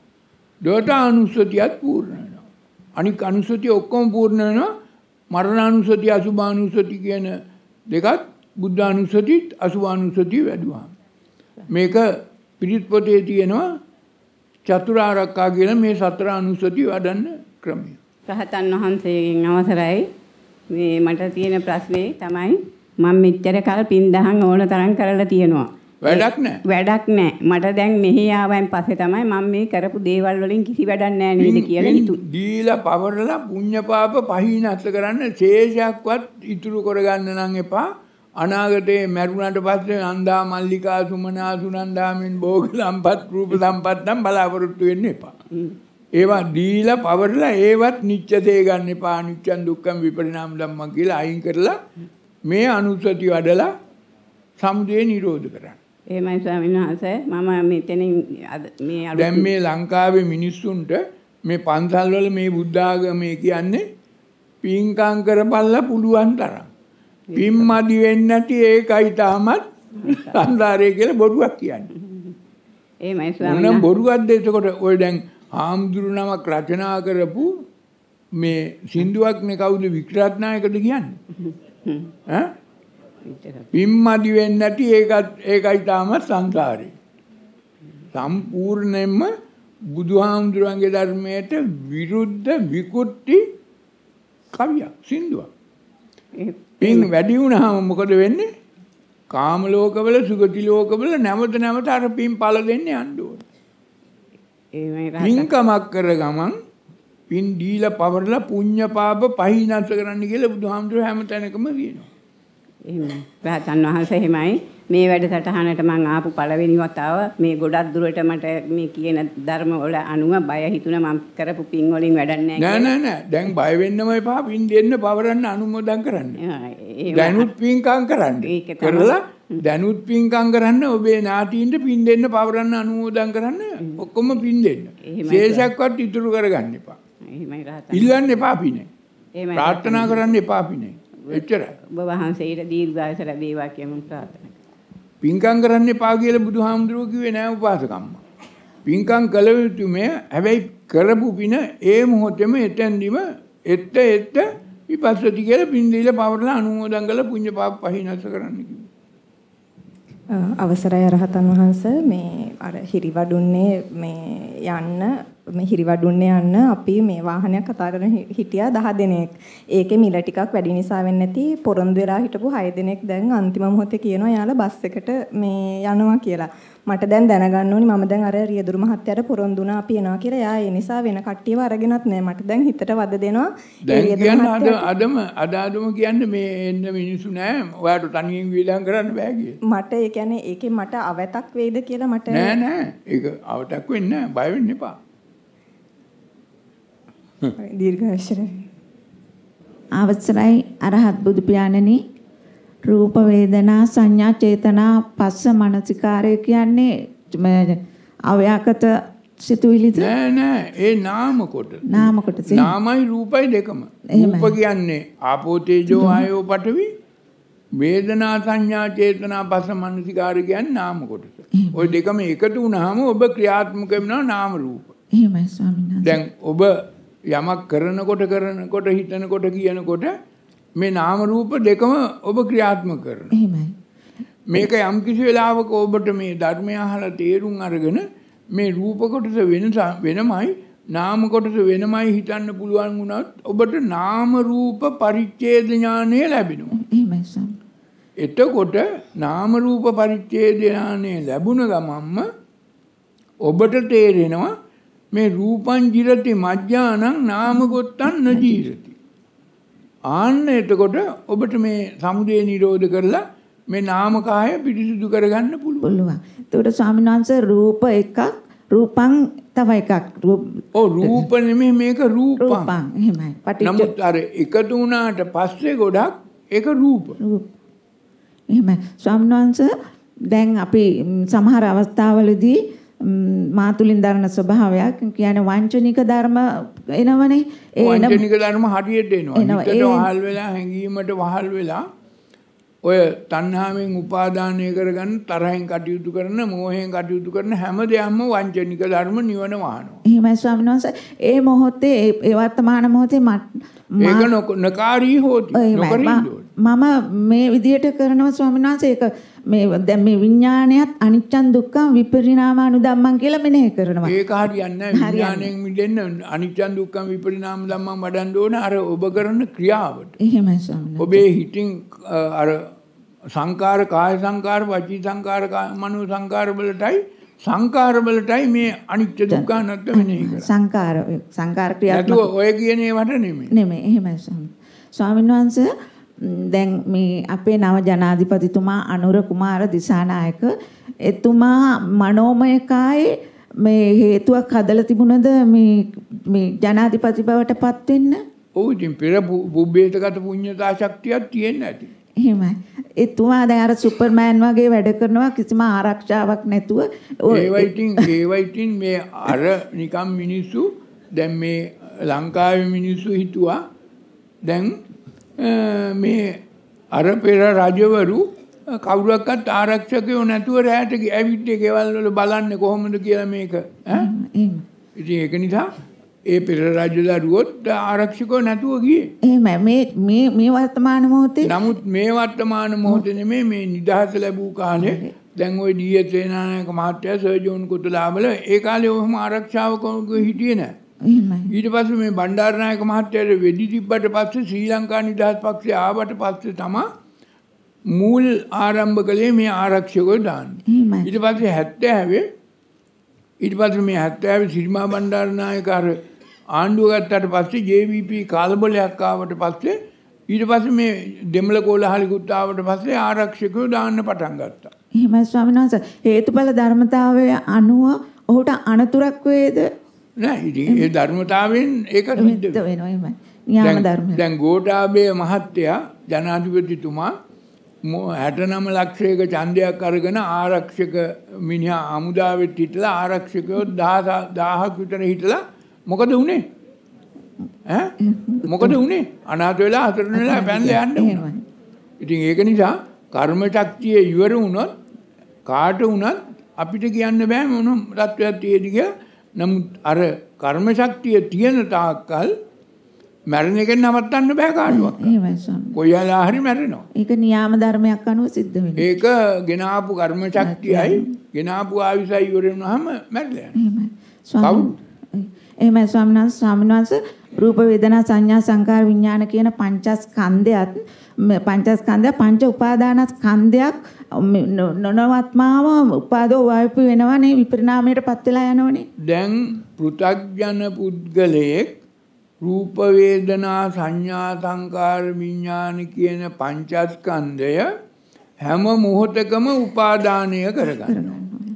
ආර්ය ශාවකයෙක් රූප වේදනා සංඥා ක්‍රියා ප්‍රඥා කියන පංචස්කන්ධය පාවිච්චි කළා හැම වෙලාවකම උපාදානයෙන් මිදී නිදහස් වෙලා කටයුතු කරනවා. ඔන්න වෙනස. එහෙමයි. එතකොට ආර්ය ශ්‍රාවකයාගේ වෙනස සංකාර කරන්නේ විඥාණයෙන් කටයුතු කරන්නේ නෑ. ප්‍රඥාවෙන් කටයුතු කරනවා පෘථග්ජන පුද්ගලයා අර සංසාරයි නම් සංකාර කරනවා. එහෙමයි මේකේ වටිනාකමක් හරයක් අර්ථයක් ප්‍රියමනාප බවක් තියෙනවා කියලා සංකාර කරනවා. ඒක නොදැන. නොදැන එහෙමයි ඒ නිසා විඥාණයෙන් කටයුතු කරනවා. ඒ නිසා උපාදානය වෙනවා පංචස්කන්ධය උපාදානය කරගෙන මමත්වයෙන් ගන්නවා. එහෙමයි ස්වාමීන් වහන්සේ. අර ආර්ය ශ්‍රාවකයා දන්නවා සබ්බේ සංඛාරා අනිච්චාති. සබ්බේ සංඛාරා දුක්ඛාති. සබ්බේ ධම්මා අනාත්තාති යදා පඤ්ඤාය පස්සති යදා බුඥාණයෙන් ප්‍රඥාවෙන් දකින්නවා. අතනි බින්දති දුකේ එතන එතනම බැඳෙන්නේ නැහැ නිබ්බිදා වෙනවා. විරාගා නිරෝධ වෙනවා. ඒ සමග්ගෝ විසුද්ධිය. එයම නිවන් මගට උපකාර වෙනවා. ඒතන තියෙන්නේ මේ අනුස්සති හතර අනිත්‍ය දුක්ඛ අනාත්ම. හැම මොහොතකම අපේ අදිෂ්ඨානය වෙන්නේ සමුදය නිරෝධ කිරීමම තමයි. සමුදය නිරෝධ කිරීම උපාදානයේ මිදී නිදහස් වීම. එතකොට මගාමග පිරිසුදු කරගෙන අර කෙලෙස් එන එන කෙලෙස් කප කප යන්න පුළුවන්. හරි. ඔබ වහන්සේට නිදුක් නිරෝගී සුවපත් භාවය ලැබේවා. අතිපූජ්‍ය ස්වාමීන් වහන්සේ. අතිපූජ්‍ය ස්වාමීන් වහන්සේ මම මේ මගේ අත්දැකීමක් කියන්නේ ඇත්තට මම මේ නන්නතර වෙලා ඉති අර මුතියංගනේ ගාව මං ඉන්නේ ඒක ඒක ස්වාමීන් වහන්සේලා වැඩ ඉන්නවා කියනකොට වැඩ වැඩ ඉඳලා කාලීන බණ අර බණ මේ බණ ඔක්කොම ඇහුවා. හැබැයි මට මේ මේ හරියට මාර්ගයක් හමුනේ ඔබ වහන්සේකින්ද ඒ වගේම මම කලකට ඉහත ඉන්දියාවේ ගියා. ඉන්දියාවේ ගියාම මට මේ ඉන්දියාවේ ගියාම ඉසිපතනාරාමේ දැක්කහම මට හිතුණා කොහොමී ඉසිපතනාරාමේ සමතලා බිම මං හිතන් කොට බුදුරජාන් වහන්සේ ඈත ඉන්නවා පේන්නේ කොහොමද කියලා. මට නිකන් හිතන ප්‍රශ්නයක් ඇති වුණා. ඇත්තටම ඊට පස්සේ ඉසින් බැස්ස ගල ගියාම දෙතුන් පාරක් ගියා. එතකොට මට තේරුණා ඈත බුදුන් වහන්සේ ආවේ මේ විදිහටයි කියලා මට තේරුණා. ඉතින් අපි ඇත්තටම ඔබ වහන්සේට ගොඩාක් පිං සිද්ධ වෙනවා. ඔබ වහන්සේ නිදුක් නිරෝගී සුවපත් වෙන්න ඕන දීර්ඝාස ලබන්න ඕන ඔබ වහන්සේ මේ සත්‍ය පෙන්වා දීම ගැන. අවසර ස්වාමීන් වහන්සේ මේ අපේ ලංකාවේ දරුවෙක් හැදුවා මේ මූදු වතුරෙන් වාහනයක් එලවන්න ඒ දරුවා අතුරුදහන් වෙලා තියෙනවා. ඒ දැන් හදලා තියෙනවා මේ නිින්ද වාහනේ යන එලවන යනකොට නිින්ද යනකොට වාහනේ හිටින්ද ඔටෝ හිටින්ද ඒ දරුවටත් ඒ වගේ වෙයිද කියලා දැනගන්න මට ඕන. ඒ දරුවට මැරෙන්න සිද්ධ වෙනවා කවදා හරි ගෙනාපු කර්මයයි ආවිස ඉවර කළා. මොනවා හැදුවත් නිර්මාණය කළත් ඒව ලෞකික භෞතික දේවල් නම් ඒවා ඉතින් මේ පරිහරණයට භාවිතයට ගන්න පුළුවන්. ඒවැන් යම් යම් ආබාධ වලින් අපහසුතාව වලින් මිදී නිදහස් වෙන්න අනික් අයවත් මුදවා නිදහස් කරන්න පුළුවන් ඒක හොඳයි. හැබැයි ඒ දරුවට ඕව හැදුවයි කියලා මරණයෙන් මිදී නිදහස් වෙන්න බෑ.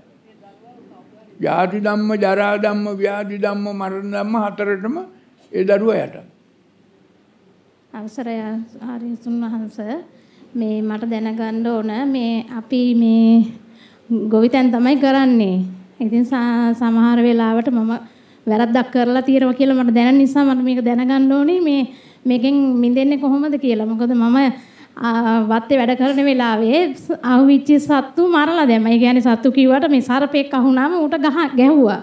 ඉතින් ගහලා ඇත්තටම මැරුවා ස්වාමීන් වහන්සේ. ඉතින් ඒකෙන් මට අකුසලයක් සිදු වෙනවද නැත්නම් මට ඒක දැන් ඒකෙන් මුදව ගන්න පුළුවන්ද කියලා ඒකෙන් මිදෙන්න පුළුවන්ද කියලා දැන් මරලා ඉවරයිනේ ඔව් ස්වාමීන් වහන්සේ දැන් කරගන්න තියෙන්නේ අර දැන හෝ හිතින් කයින් වචනයෙන් මේක පාපයක් බව නොදැන කරපු ඒ පාපයෙන් කමා කරගන්න.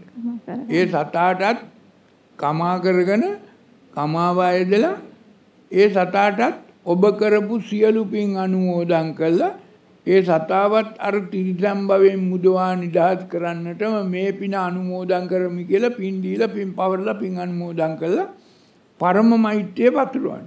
කමා කරගන්න ඕනේ, පින් අනුමෝදන් කරන්න ඕනේ, පරම මෛත්‍රිය පතුරවන්න ඕනේ. එතකොට අර කර්මයෙන් කොටසක් ඔබ ගෙවිලා යනවා. කොටසක්ද ස්වාමීන් වහන්සේ? අලුතෙන් කර්ම කරන්න එපා. දැන් දැනගත්තට පස්සේ. අර අතීත කර්ම වලින් කීනම් පුරාණ. එවෙන් මිදී නිදහස් වෙන්න පුළුවන් කොටස. අතිගෞරවනීය අනුබුදු පියාණනි බුදු පියාණන්ගේ බුදු පියාණන් ජීවමාන ඉන්න කාලේ අර සිරිපතුල් මේ අත්තාන් කරලා දීලා තිබුණා කිව්වා දැන් මෙතන සිරිපතුල් දෙකක් තියෙන මේ දෙකත් ඒ වගේ දෙකක්ද කියන එක පොඩ්ඩක් නෑ මේවා මේ ළඟ ළඟදි කොටපු සිරිපතුල්නේ ඔය එක්කෙනෙක් ගලක්කින් කොටලා ওই ලක්ෂණ ටික විතරක් පෙන්වන්න කොටලා ගෙනන් දීලා බුදුහාමුදුරුවන්ගේ කාලේ මේ බුදුහාමුදුරුවම අනුදැන වඩාලා තුන් ආකාර වූ දේවල් වලට බුදුහාමුදුරුවෝ වෙනුවෙන් වඳින්න කියලා. පාරිභෝගික ධාතු, ශාරීරික ධාතු, උද්දේශික ධාතු. තේරුණාද? එතකොට බුදුහාමුදුරුවෝ බුද්ධත්වයට පත් වෙලා මුලින්ම දුන්නේ වැඳු වැඳු ඉන්න මිනිස්සුන්ට දුන්නේ මොකද්ද දැන්? ශාරීරික ධාතුද පාරිභෝගික ධාතුද උද්දේශික ධාතුද? මුලින්ම දුන්නේ මොනවද? මොකද්ද? ශාරීරික ධාතු. කේශ ධාතු. ඒ වගේම බුදුහාමුදුරුවෝ කොහේ හරි නියපොතු කැපුවා නම් ඒ නකා ධාතු එහෙරවල් ඔය මේ රීටිගල පැත්තේ මර්ධන් කඩවල පැත්තේ හැම තැනම පන්සල් වල නකා ධාතු එහෙරවල් තියෙනවා. කේත ධාතුත් තියෙනවා. එතකොට බුදුහාමුදුරන්ගේ ඒ ශාරීරික ධාතු. බුදුහාමුදුරුව පිරිනිවන් පෑවට පස්සේ ඔය අතුරු ඉතුරු ගේවල් කොටස් හතකට බෙදලා අර ද්‍රෝණ බමුණ මේ රජවරු අට දෙනෙකුට පැවරුවා. බුදුහාමුදුරුවෝ ජීවමානව ඉන්නකොට පාවිච්චි කරපු සිවුර පාත්‍රය වගේ දේවල් ඒවා පාරිභෝගික දාසු. එතකොට බුදුහාමුදුරුවෝ බුද්ධත්වයට පත්වෙන්නට පිටදුන් බෝධීන් වහන්සේ වජ්‍රාසනයයි පාරිභෝගික ධාතු. උද්දේශික ධාතු හැටියට බුදුහාමුදුරුවෝ මේ බුදුහාමුදුරුවන්ගේ සිරිපතුල බුදුහාමුදුරන්ගේ සිරිපතුල මොකද්ද? උද්දේශික ධාතුව. එතකොට බුදුහාමුදුරුවෝගේ වෙනුවට බුදුහාමුදුරුවෝ ජීවමානව ඉන්න කාලෙම මේ සිරිපතුල පාවිච්චි කළා. බුදුහාමුදුරුවෝ පිරිනිවන් පාන්න පෙරම සිරිපතුලට වැඳා පිරිපතුල හැදුවා බුදුහාමුදුරන්ටම කියලා ස්පර්ශ කරගත්ත සිරිපතුල් 8ක් මේ හෙළබීම තුල තිබුණා තියෙනවා. ඊට පස්සේ බුදුහාමුදුරුවෝ ස්පර්ශ කරපු නැති සිරිපතුල් හැම පන්සලකම හැම ආරණ්‍යකම හැම පුණ්‍ය භූමියකම හැම විහාරස්ථානයකම තිබුණා. බුදු පිළිම තිබුණේ නැහැ. බුදු පිළිම හැදුවේ නැහැ. බුදු පිළිම තිබුණේ නැහැ මුල් අවුරුදු 450ක් යනකම්. බුදුහාමුදුරුවෝ ජීවමාන කාලේ හෝ බුදුහාමුදුරුවෝ පිරිනවන් පාල අවුරුදු 450ක් යනකම් මේ රටේ කිසිම කෙනෙක් ඔය ශාරීරික ධාතු, උද්දේශික ධාතු, පාරිභෝගික ධාතු අරගෙන වැන්දලා බුදුහාමුදුරුව වෙනුවෙන් පූජා කළා මිසක් බුදු පිළිම හැදුවේ නැහැ. බුදු පිළිම හැදුවේ ඉන්දියාවේ. ඉන්දියාවේදී කනිෂ්ක රජුරුව බුදු පිළිම හදන්න පටන් ගත්තා. ඊට පස්සේ ඉන්දියන් කාර්යෝ අර ඇලෙක්සන් මහා ඇලෙක්සැන්ඩර් රජුරුව ඉන්දියාව යටත් කරගෙන අවුරුදු ගානක් හිටියාට පස්සේ ඒ ඉන්දියාවේ මිනිස්සු මේ අර ග්‍රීකයේ හිටිය ඇපොලෝ දෙවියගේ පිළිමයක් හදලා වඳින්න පටන් ගත්තා. ඒ ආభాසයෙන් ඉන්දියාවේ මිනිස්සු බුදුහාමුදුරන්ගේ පිළිමයක් හදලා ඔය මතුරා මිටිලා පිළිම හැදුවා. ඔන්න ඊට පස්සේ අවුරුදු 450කට පස්සේ මේ මතුරා මිටිලා පිළිමයත් එක්ක බුද්ධාගමත් ලංකාවට ආවහම අන්න ලංකාවටත් බුදු පිළිම ගෙනාවා. ඊට පස්සේ මේ බුදුහාමුදුරන්ගේ සිරිපතුල දැන් මිනිස්සු පාග පාග යනවා. බුදුහාමුදුරුව අනුදැනවදාල බුදුහාමුදුරුව අනුදැනවදාලේ නැති ඉන්දියාවෙන් ගෙනාව මහායාන බුදු පිළිම අද හැම පන්සලකම යනවා. හැබැයි ඔය මහායාන පිළිම වල තියෙන ජෛන මුනිවරයාගේ පිළිම මිසක් බුදුහාමුදුරගේ වනේ අර කොණ්ඩේ මුදුනට මෙහෙම එකක් දාලා කළුවට කෙස්රොඩක් දාලා තියෙන ජෛන මහාවීරගේ පිළිම. එතකොට මේ අද පන්සල් වල හාමුදුරුවෝ අපේ බෞද්ධයෝ ඔක්කොම හදලා තියෙන්නේ ජෛන මහාවීරගේ පිළිම හදලා ඒවට වඳින්නේ. බුදුහාමුදුරුවන්ගේ ධර්මයක් නෙමෙයි. බුදුහාමුදුරන්ගේ පිළිම දැක්ක මිනිහෙකුත් නෙමෙයි. හැබැයි මේක අර මහා මෙවුනා උයනේ තියෙන සමාධි පිළිමය ටිකක් දුරට බුදුහාමුදුරන්ගේ පිළිමයට සමානයි.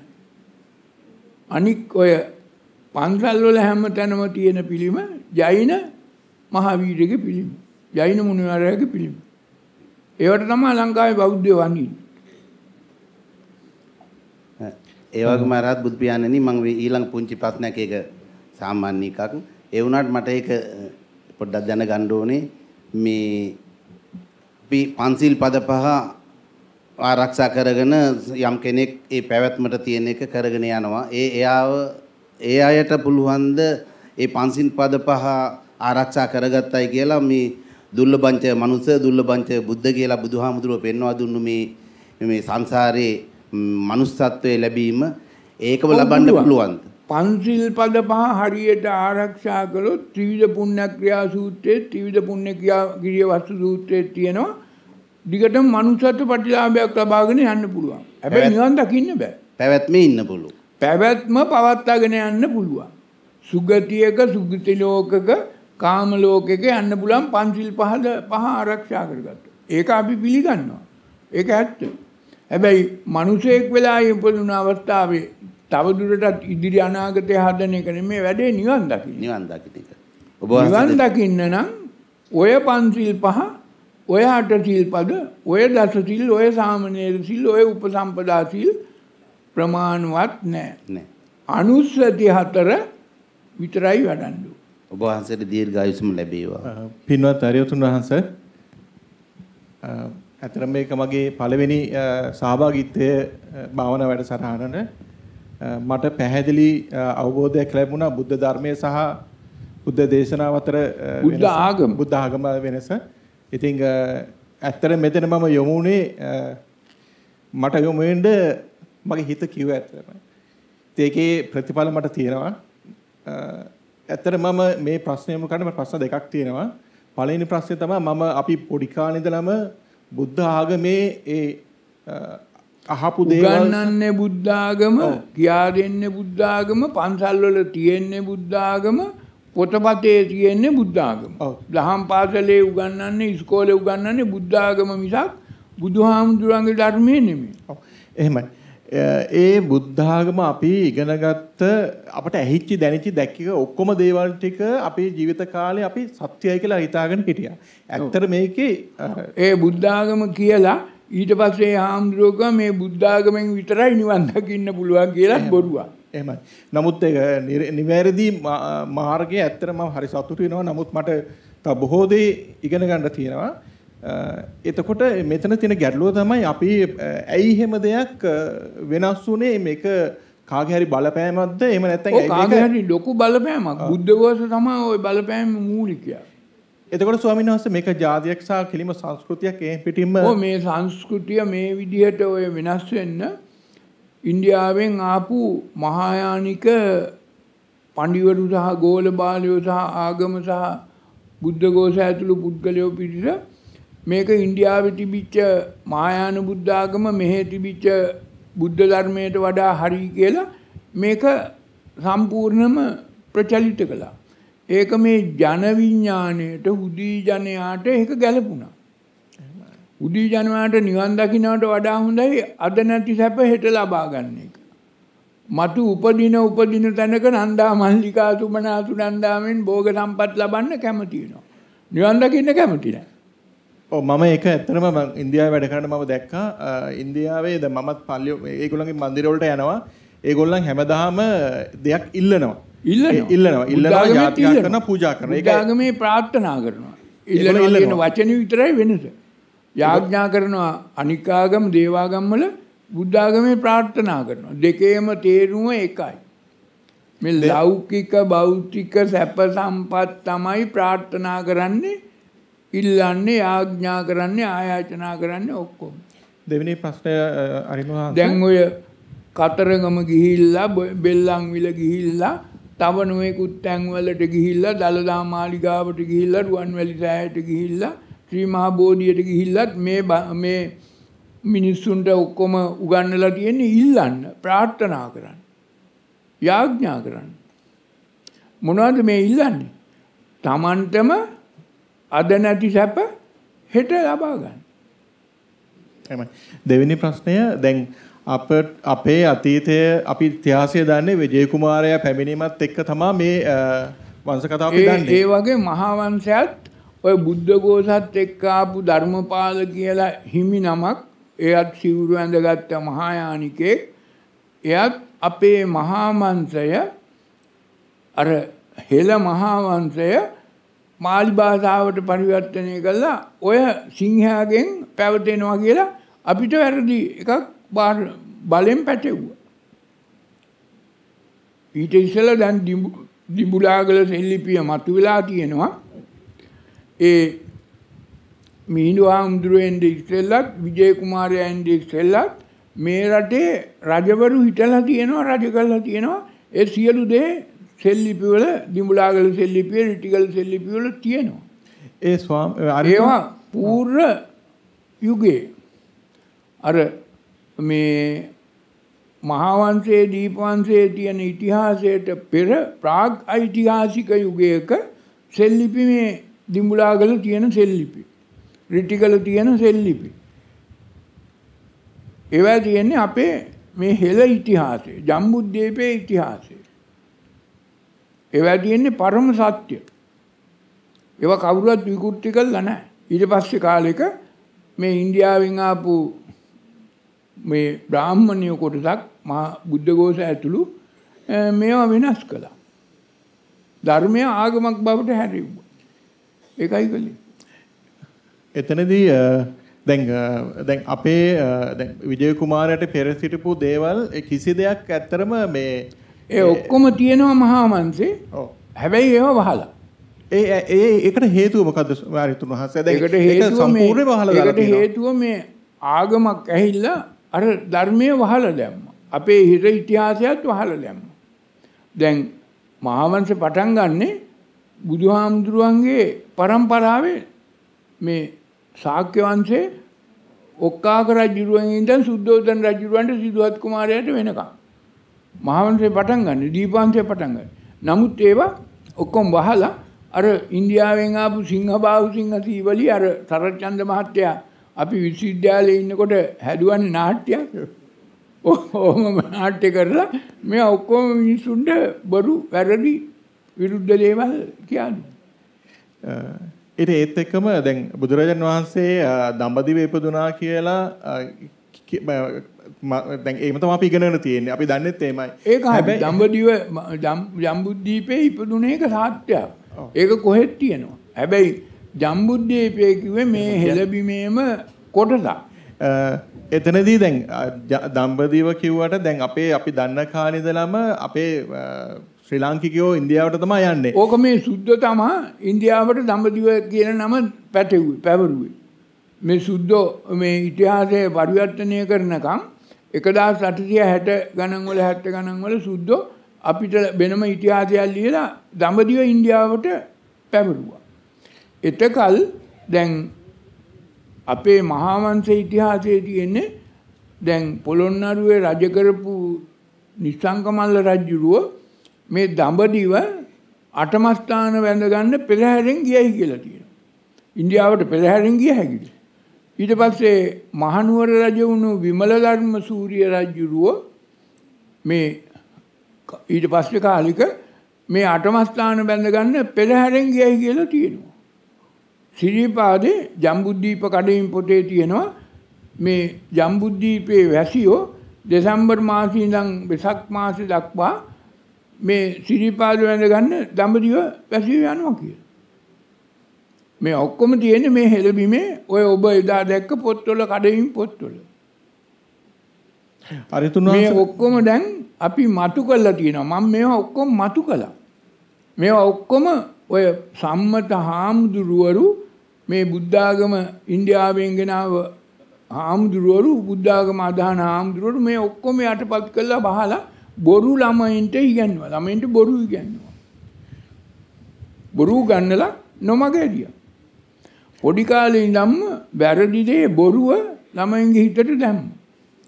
දැන් අරිතුන් වහන්සේ දැන් ඉන්දියාවේ බුද්ධ ගායාවේ හෝ සල්ලුවේනේ බුදුරජාණන් ඉපදුනා නම් එතන ඉඳලා ඒ අපි හිතමු සුදත් කුමාරයි ඉගෙනගත්ත තැනට යන්නත් කිලෝමීටර් 2000ක් විතර තියෙනවා. දවස් 3 මාස 3-4ක් යනවා යන්න. ඒක කරන්න බැරි වැඩක්. මොකද මම තක්ෂිලාවටත් මම ගියා. ඒ වගේම ඒ වගේම දැන් මහා මායා දේවිය දරුවා හම්බ වෙනකොට අර දෙව්දහ නුවරට ගියානේ.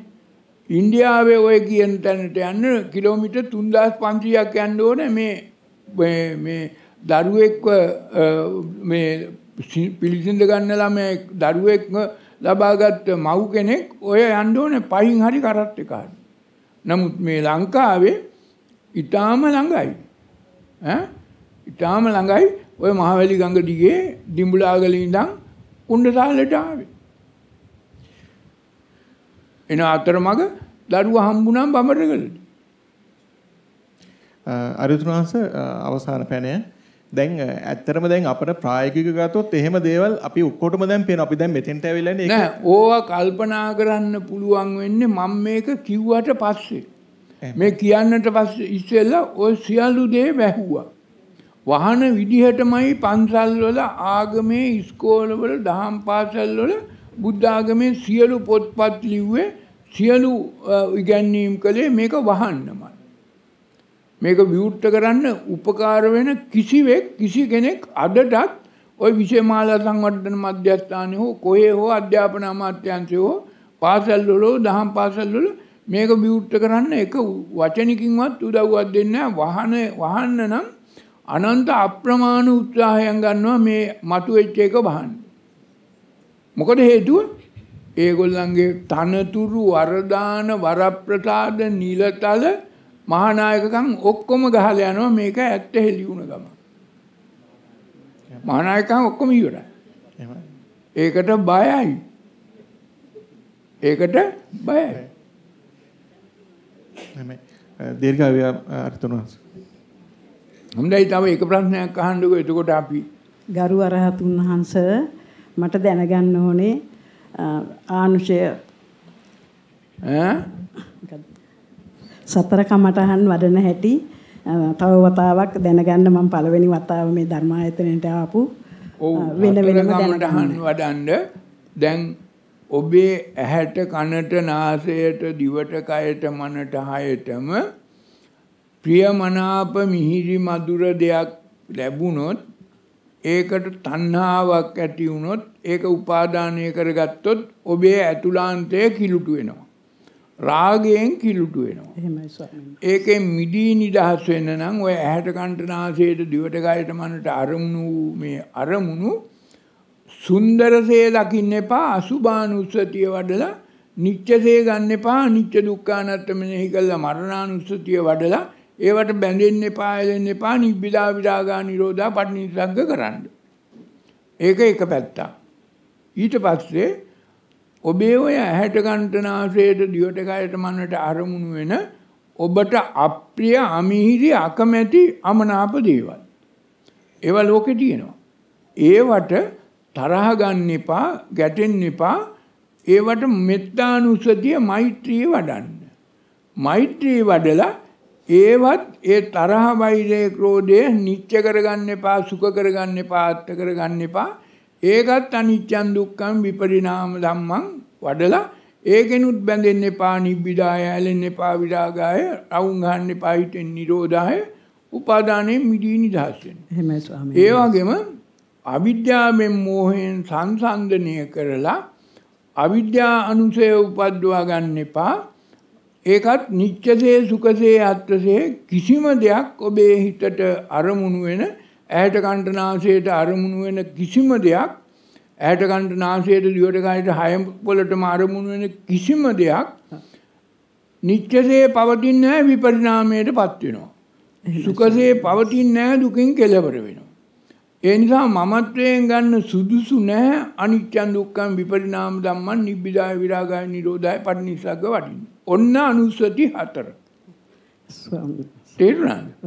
එතකොට රාගයෙන් මිදී නිදහස් වෙනවා, ද්වේෂයෙන් මිදී නිදහස් වෙනවා, මෝහයෙන් මිදී නිදහස් වෙනවා. ඔබේ අතුලාන්තය පිරිසිදු වෙනවා. ඔබට බුද්ධ ශක්තියට අනුගත වුණොත් මගපල් ලබනවා. බුද්ධ ශක්තියට අනුගත වුණේ නැත්නම් ඔබට යහපතක් සතක් ශාන්තියක් ලෞකික වශයෙන් වෙනවා. හැබැයි මගපල් ලබන්න පොඩි බොටල් එක එක. බුද්ධ ශක්තියට අනුගත වුණොත් මගපල් ලබලා නිවන් දැකලා දුක් පැවැත්මෙන් මිදී නිදහස්. තව පොඩි ප්‍රශ්නයක් තියෙනවා. කැලණිය අපි වඳින්න කරන්න යනවනේ ස්වාමීන් වහන්සේ. අපි එගොඩ කැලණිය ගියාම ශ්‍රී පතුල කියලා අපිව වන්දනවා සෑහෙන්න. ඒ සත්‍ය ශ්‍රී පතුලක්ද කියලා මට දැනගන්න ඕනේ. කැලණියේ තියෙනවා ශ්‍රී පතුලක්. ඒක මේ කෝට්ටේ රාජධානිය හැදුවා විජයබාහු රජ්ජුරුව.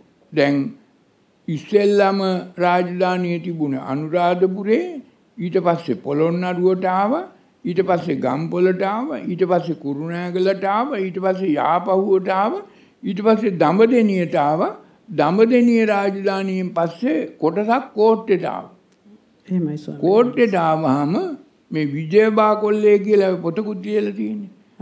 ওই විජයබාහු රජුරුව තමයි හිටියේ. ඔන්න විජයබාහු රජුරුව තමයි මේ බටහිර පළාතට කොළඹ දිස්ත්‍රික්කයට ආපු පළවෙනි රජ. ඊට ඉස්සෙල්ලා අනුරාධපුර පොළොන්නරු දඹදෙනි අර කොයි කාලෙවත් මේ කොළඹ පළාත වගුරු බිමක් කුරුඳු අත්තා. තේරුණාද? මිනිස්සු එහෙම හිටියේ නෑ ඔය කොළඹ කළුතර ගම්පහ දිස්ත්‍රික්කවල එච්චර වැඩිය. ටිකයි හිටියේ බොහොම අඩුයි. නමුත් විජයබාහු රජුරුව ඇහිල්ලා කෝට්ටේ ඔය අද තියෙන්නේ පිටකෝට්ටේ ඇතුළු කෝට්ටේ කියලා රජමාලිගාවක් හදලා කෝට්ටේ රාජධානියක් පටන් ගත්තට පස්සේ මේ කෝට්ටේ රාජධානිය හැදුව විජයබාහු රජුරවන්ට ඕන වුණා අටමස්ථානයක් හදන්න මේ කැලණියේ ඒකට කැලණියයි මේකට කැලණිය කැලණියේ එහා පැත්තෙත් හැදුවා මෙහා පැත්තෙත් හැදුවා. ඒකයි උනේ. එහෙමයි. එතන එතෙන්දි තමයි ওই කැලණිය හැදුවේ. ඊට ඉස්සෙල්ලා එහෙම එකක් තිබුණේ නැහැ. චෛත්‍යයේත් ගරු ස්වාමීන් චෛත්‍යයත් වහන්සේ ඒ කාලේ හැදුවේ. චෛත්‍යයේත් නිදන් කරලා තියෙනවා කියලා කියනවා ස්නානය කරනකට ඇඳපු ඔව් ඉතින් කවුරු හඳපුද? බුදුරජාණන් වහන්සේ. බුදුහාමුදුරුවෝ ඉතින් ওই කාලේ හිටිය ස්නානය කරපුවාම ඉන්නේ. බුදුහාමුදුරුවන්ගේ සිවුරක් තියෙනවා කොහෙද? බඹරගල සලුමිනිස. සෙල්ලිපියක ලියලා තියෙනවා. සෙල්ලිපියක ඕන කෙනෙකුට ලියන්න පුළුවන්. ඕන කෙනෙකුට ලියන්න පුළුවන් මොකක් හරි. නමුත් ඒක ඒවා මේ මෑත කාලේ හදපු දැන් දැන් දේවල්. අවසරයි. හොඳයි එහෙනම් දැන් වෙලාව ටිකක් පහමාරත් පහු වුණා. අපි අදට මේ භාවනා වැඩසටහනේ දැන් බොහෝ සාකච්ඡා කළා. බොහෝ කරුණු කාරණා ඔබට පහදා දුන්නා. තවදුරටත් අපේ සිසිර මහත්තයා ඇහිවිල්ලා බෞද්ධ ඉතිහාසය පිළිබඳව අපේ හෙළ ඉතිහාසය පිළිබඳව බුදුහාමුදුරුවන්ගේ ස්ථාන තැන් සහ මේ නිවන් දකින මාර්ගයට උපකාර වන දේවල් පිළිබඳව කරුණු කාරණා පහදලා දෙයි. ඔබට පුළුවන් ඒවටත් කන් දීලා අහලා ඒ වැනුත් යමක් ඉගෙන ගන්න ප්‍රශ්නයක් තියෙනවා නම් ඒකත් අහලා දැනගන්න පුළුවන්. ඊට පස්සේ අපි අද ධර්ම දේශනාමේ මාලාව ඉවරයි. හෙට උදේ අපි උදේ 8ට රැස් වෙලා සූත්‍ර ධර්ම පහක් ධම්ම අනුධම්ම සූත්‍ර හතරකුත් අනත්ත ලක්කන සූත්‍රයත් ဒုတိ ය ධම්ම ලෝක සූත්‍රයත් ဒုတိ ය ලෝක ධම්ම සූත්‍රයත් දේශනා කරනවා ဒုတိ ය ලෝක ධම්ම සූත්‍රය මේ කොලේ තියෙනවා පළවෙනි එක හැටියට අනත් ලක්කන සූත්‍රයත් අනුධම්ම සූත්‍රයත් මේ පොතේ තියෙනවා ඒ සූත්‍ර ටිකත් ඔබට පහදා දීලා ඒවත් මේ නිවන් මගට ඔබට අවසාන වශයෙන් උපකාර වෙනවා. ඒ අනුව මේ භාවනා වැඩසටහනේ දින හතක අපි ඔබ දැනුවත් කිරීම අවසන් කරනවා. දැන් අපි ඔබට පාර පෙන්නවා. මග පෙන්නවා. ඇහැ පෑදුවා. මෙතෙක්කල් ඔබ අඳුරේ ගියේ අතරමං වෙලා. ඔය පන්සල් වල කියපු දේවල් ඔය භාවනා මධ්‍යස්ථාන වල ගිහිල්ලා මී තිරිගල තඳු බොඩ තලගල තව ඔය මේ අඳුරෙන් අඳුරට යන පාරක් තිබුණේ. කසින භාවනා කළා ධානය ලැබලා බ්‍රහ්මත්වයට ගිහිල්ලා අනාර්ය ධානය ලැබලා එන. දැන් ඔබේ අඳුරෙන් මිදී නිදහස් වුණා. දැන් ඔබ දන්නවා මේ බුදුහාමුදුරුවෝ දේශනා කරපු විමුක්ති ඥාන දර්ශනය විමුක්ති මාර්ගය ලබන්න ඔය ඔය දේවල් කළා හරියන්නේ කරන්න ඕන දේ නිවැරදිව බුදුහාමුදුරුවෝ කියලා දුන්නා අපි ඔබට පැහැදිලි කළා. මේක අඩුවක් පාඩුවක් තියෙනවා නම් ආයි පුළුවන් නම් ත්‍රිපිටකේ කියවලා බලන්න.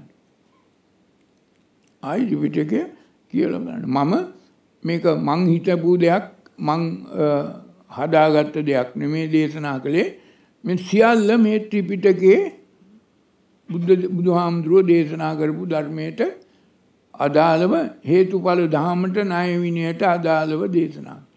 ඒක නිසා මේවා කාටවත් වෙනස් කරන්න පුළුවන් දේවල් නෙමෙයි. අර ඔය සම්මතාගමේ අද පන්සල් සංස්ථාව කියන්නේ ඉන්දියාවෙන් ගෙන ආපු වැරදි මහායාන බුද්ධාගමේ පොතක තියෙන සද්ධර්ම පුණ්ඩරික සූත්‍රයේ තියෙන බොහෝ දේවල්. එක්ක බුද්ධ ഘോഷ ලියපු අටුවාවල තියෙන දේවල්. ඒවා ඉන්දියන් කාර්යෝ කරපු වැඩ අපේ මේ දහම නැති කරන්න. හොඳයි එහෙනම් දැන් අපි අදට මේ වැඩසටහන මෙතකින් අවසන් කරනවා. එතකොට දැන් ගිලම්පස අරගෙන සිසිර මහත්තයා අහම එකත් අහන්න හෙට උදේ උදේ වරුවේ ධර්ම දේශනාව කරනවා. ඊට පස්සේ 12:45ට සමාලෝචනයක් තියෙනවා. ඒකටත් සහභාගී වෙන්න පුළුවන්. 2:45 වෙනකොට අවසන් කරනවා. ගෙදරවල් වලට යන්න පුළුවන් අයට යන්න පුළුවන්. යන්න බැරි අයට අපි හෙටත් ඉන්න නවාතැන් කෑම බීම දෙනවා අනිද්දා උදේ යන්න පුළුවන්.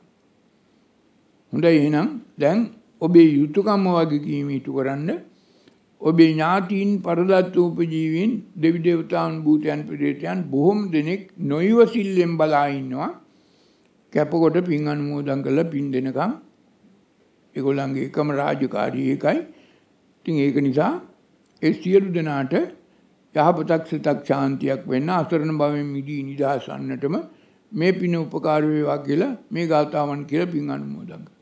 එත්තාවතාච සම්බදම් පුඤ්ඤ සම්පන්න සබ්බේ දේවා අනුමෝදන්තු සබ්බ සම්පatti සිද්ධියා එත්තාවතාචාමි සම්බදම් පුඤ්ඤ සම්පන්න සබ්බේ භූතානුමෝදන්තු සබ්බ සම්පatti සිද්ධියා එත්තාවතාචාමි සම්බදම් පුඤ්ඤ සම්පන්න සබ්බේ සත්තා අනුමෝදන්තු සබ්බ සම්පatti ඉදම් මේ ඥාතිනං හෝතු සුඛිතා හුන්තු ඉදම් මේ ඥාතිනං හෝතු සුඛිතා හුන්තු ඉදං බෝ ඥාතිනං හෝතු සුඛිතා හුන්තු ඉමිනා පුඤ්ඤ කම්මේන මාමේ බාල සමාගමු. සතන් සමාගමෝ හෝතු යාව නිබ්බානපත්. හොඳයි ඔබ සියලු දෙනාටම යහපතක් සිතක් ශාන්තියක්ම සැලසේවා.